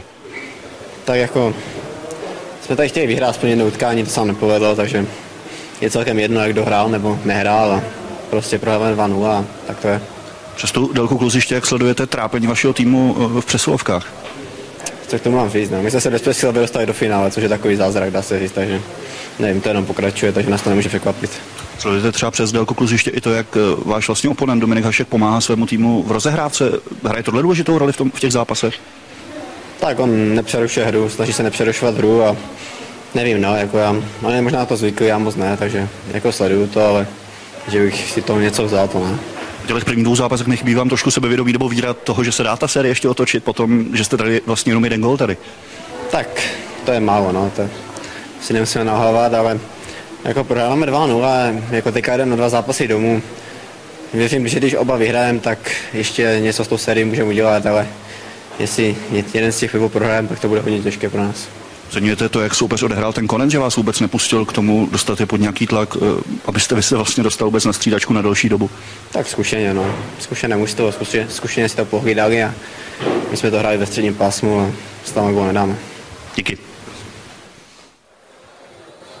Ve studiu Bully Jan Votruba, asistent hlavního trenéra pardubického týmu. Gratuluju vám k druhému vítězství v téhle sérii. Dneska jste opět Vítkovice přestříleli, ale i tak eh, začneme u Dominika Haška, protože jeho příspěvek v letošním playoff je neuvěřitelný, když to vemu jenom podle čísel. Čtvrtfinále s Třincem eh, úspěšnost 91%, semifinále 95,6 a teď ve finále 98% úspěšnosti zákroku. Dominik stoupá eh, jako stíhačka při startu. Tak určitě on na sobě pracoval celou sezónu a pro nás to vlastně není překvapení, protože e, tak pracovitýho hráče já jsem ještě v podstatě neviděl. E, tam šlo jenom o to si ho načasovat formu a, a to se mu opravdu povedlo. Ale musím pochválit celý tým, protože hrajeme opravdu dobře dozadu, jak útočníci, tak i obránci. Hrajeme dobře ten box ve středním pásmu a, a prostě tom jsme úspěšní. Když se trošku na chvilku zdržíme u Dominika Haška, on zažil v Pardubicích časy, kdy Tesla vyhrávala útočným hokejem, ale říká se, že v té moderní éře, v extralize, eh, Pardubice mohou uspět pouze, pokud budou bránit. A v téhle sérii zatím bráníte opravdu výborně. Z 50 střel jediný gol, s tím, že Vítkovice mají velké problémy s tím dostat se vůbec eh, do útočného pásma při hře 5 na 5 a v přesilovkách 9 přesilovek, 0 gólů. Tak já už jsem to naznačil v té předešlé otázce. Opravdu se nám podařilo zapracovat na tom systému. Eh, výborně hrajeme to střední pásmo a ty nastřelní kotouče, eh, co vlastně projdou, tak eh, my v té situaci hrajeme vlastně 6 na 5, protože Dominik výborně chodí za bránu, chodí do rohu. Ty kotouče buď to rozehrává, nebo je dává našim obráncům. To samé, když chytne puk, tak do poslední chvíle chce rozhrát, aby u nás nebylo vhazování. Takže ta spolupráce je tam opravdu skvělá. Co se týče toho, toho oslabení, tak eh, my ty procenta jsme v celku měli úspěšní už ke konci sezóny a, a prakticky se snažíme hrát rychlej přístup celou dobu na Vítkovice a zatím se nám v tom daří. To, co projde, tak prostě chytne Dominik. Jak jste spokojení s tím, jak se zapracoval Daniel Ráko z první formací místo zraněného Jana Starého? Ono se dalo čekat, že to nebude mít lehké, ale on je zatím střelcem finále. Dal gol včera, dal gol dnes a dneska jako jediný skoroval. Tak určitě samozřejmě to bylo těžký pro něj, je to těžký pro něj, protože ta formace je sehraná, hraje spolu několik roků pohromadě, prakticky je úspěšná, ale, ale ti hráči ho vzali k sobě, v podstatě námi trenérům naznačili, že by byl vhodný místo stardy. Takže si o něj řekli tak trochu. Tak, tak trošku to naznačili šikovně, ale, ale on opravdu to místo vzal, jak se říká, za pačesy a do té pětky zapad a prakticky dneska jeho gol rozhodl po vítězství. Eh, o Petru Sikorovi se hovoří v souvislosti s jeho střeleckými výkony, ale on v celém playoff výborně brání, výborně pomáhá při hře eh, dozadu, což u něj nebylo vždycky eh, pravidlem. V jaké on je zdravotní kondici? Protože to je u něj vždycky nejdůležitější, aby byl úplně zdravotně v pořádku. Ptám se i s ohledem na to, že se o něj zajímá Vladimír Růžička ohledně jeho startu na mistrovství světa případně. Tak já si myslím, že Petr taky výborně zapracoval celou sezónu na sobě, co se týče po kondiční stránce a v současnosti je v naprostém pořádku a dokazuje to na ledě. Ono nějakým útočným hokejem se tady v té finálové sérii prostě jen tak hrát nedá. On je výborný breakový hráč a přesilovkový hráč, takže v těch situacích my ho hodně využíváme. Jak finále změní přesun na Vítkovické letiště, protože tam vám bude chybět v porovnání s eh, kluzištěm, které máme za sebou 118 čtverečních metrů. Tam scházejí 2 metry délky a metr šířky, takže eh, to už je nějaký úbytek prostoru. Jak to změní finále podle vás? Tak eh, to jsem ani nevěděl, že takhle, až takhle je to rozpočítaný, tak eh, samozřejmě je to zajímavý, ale... Je to hrubý odhad samozřejmě, takže, za oblení rohu a tak to eh, nepočítám. Tak určitě všude je dál, ale já si myslím, že, že hráči mají dobrou kondici, dobře bruslí, zatím se dobře pohybují. Já si myslím, že až tak velký rozdíl by to být neměl. Mm, myslím, že se spíš vyrovnáme s velkým hřištěm než tím menším. Ještě jednou vám gratuluju k vítězství číslo dvě v této sérii a přeju vám eh, hodně úspěchů dál a hlavně hodně zdraví hráčům, aby bylo všechno v pořádku. Díky. Děkujeme, Díky. Tak Pardubice dnes zároveň překonali jeden historický rekord playoff, protože vyhráli po desáté eh, ve vyřazovacích zápasech v řadě a to se nepovedlo nikomu v dějinách vyřazovacích sérií u nás. Překonali tak rekord Sparty z roku 2000, která vyhrála 9 utkání za sebou. Střeli na branku 35-21. Vítkovice dnes po 12. ze 14 utkání byly přestříleny, takže hodně práce znovu pro Jakuba Štěpánka a Daniel Rákos, jeden z hrdinů večera v Pardubicích, zaznamenal vítězný gol.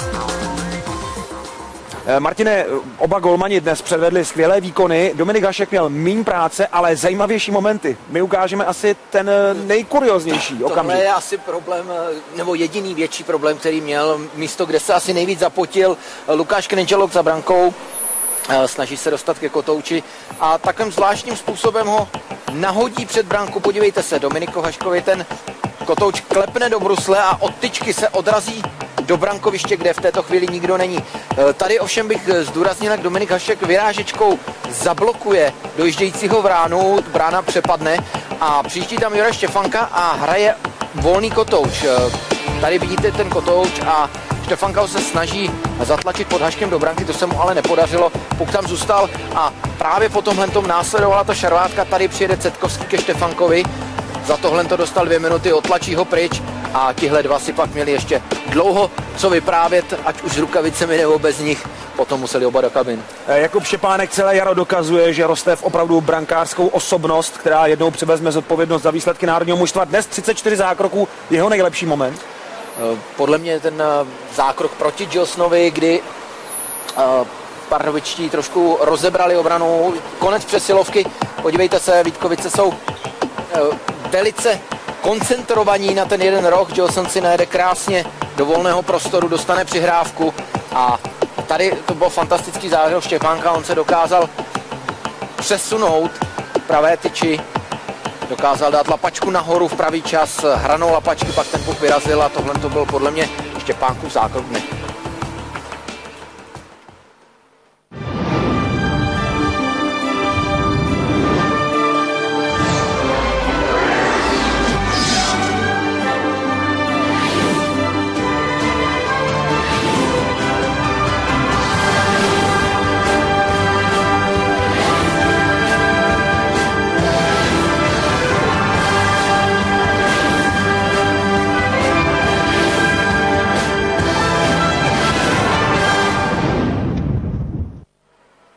Mladé Boleslavy se zhruba hodinu slaví udržení v extralize. V baráž skončila s Chomutovem, eh, zvládla eh, Boleslav velice rychle eh, barážovou sérii, podobně jako loni i předloni. Třetí vítězství v baráži pro Boleslav v řadě. Dnes v pátém utkání doma postupové vítězství 5-1. Největší osobnosti obou rivalů sledovali pátou baráž v civilu. Richard Král nehraje kvůli zádům od druhého duelu. Milan Kraft zase dostal ve druhém chomutovském zápase distanc za trest ve hře. Boleslavský nápor byl okamžitý, jenom zázračná lapačka ležícího Hanulieka zabránila Fabušově střele v cestě do sítě. Když se ale před bránou hostí dostal ke kotouči Valdemar Jiruš, bruslařský klub stejně vedl. Chomutovská odpověď byla překvapivě rychlá, trvala jen 50 vteřin. Odražila střela půl pána, se dostala k Radku Dudovi a ten měl před sebou prázdnou klec. První třetinu ale stejně vyhráli středočeši. 25 sekund před pauzou totiž dobře tečoval Machovou střelu Petr Fabuš. Chomutovské naděje definitivně padly ve druhé části v domácích přesilovkách. Ve hře 5 proti 3 se v čase 23.08 prosadil Tomáš Sikora. Boleslavská osmička se v páté baráži stala hlavním strůjcem vítězství bruslařského klubu. Za dalších pět minut v další početní převaze Sikora vložil svůj hůl do perfektní Boháčovy příhry. A ještě jednou Tomáš Sikora v přesilové hře za rozhodnutého stavu získal svůj čtvrtý bod v utkání za příhru Boháčovi na pátou branku. Mladá Boleslav porazila Chomutov 5-1 na góly, 4-1 na zápasy a podržela si extraligová práva i na příští sezonu. Životní zápas Tomáše Sikory podílel se na čtyřech z pěti gólů Mladé Boleslavy, která vyhrála třetí baráž v řadě a dokázala, že tuhle soutěž opravdu zvládá velice dobře, protože ze 14 barážových utkání dokázala Boleslav vyhrát 12 a pouze dva ztratila. Baráž končí po vítězství Mladé Boleslavy nad Komutovem 4-1 na zápasy. Končí dnešní buly z Pardubic naše finálová série, naše studio, všechno se přesune do ostravské Čes Areny. V tomhle je to vlastně stejné. Čes Arena vlastně hostí v obou městech finálovou sérii letos. No to je asi jediné, co bude stejné ve Vítkovicích. Očekávám úplně jiné, jinou atmosféru, jiné hokeje a jiné prostředí kluziště bude o 118 čtverečních metrů menší. E, pro koho to bude výhoda, to se ukáže. Pardubice vedou ve finálové sérii nad Vítkovicemi 2-0 na zápasy. Ve středu pokračuje finálová série v Ostravě. Z Pardubic vám přejeme hezký zbytek víkendového jarního večera. Naschledanou.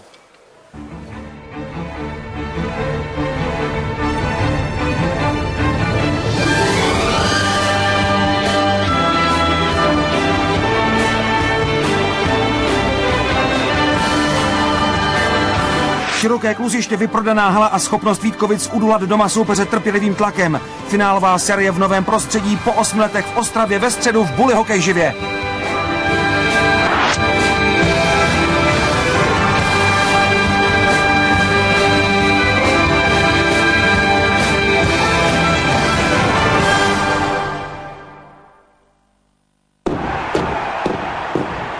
Život je hra. Hrajte ji naplno.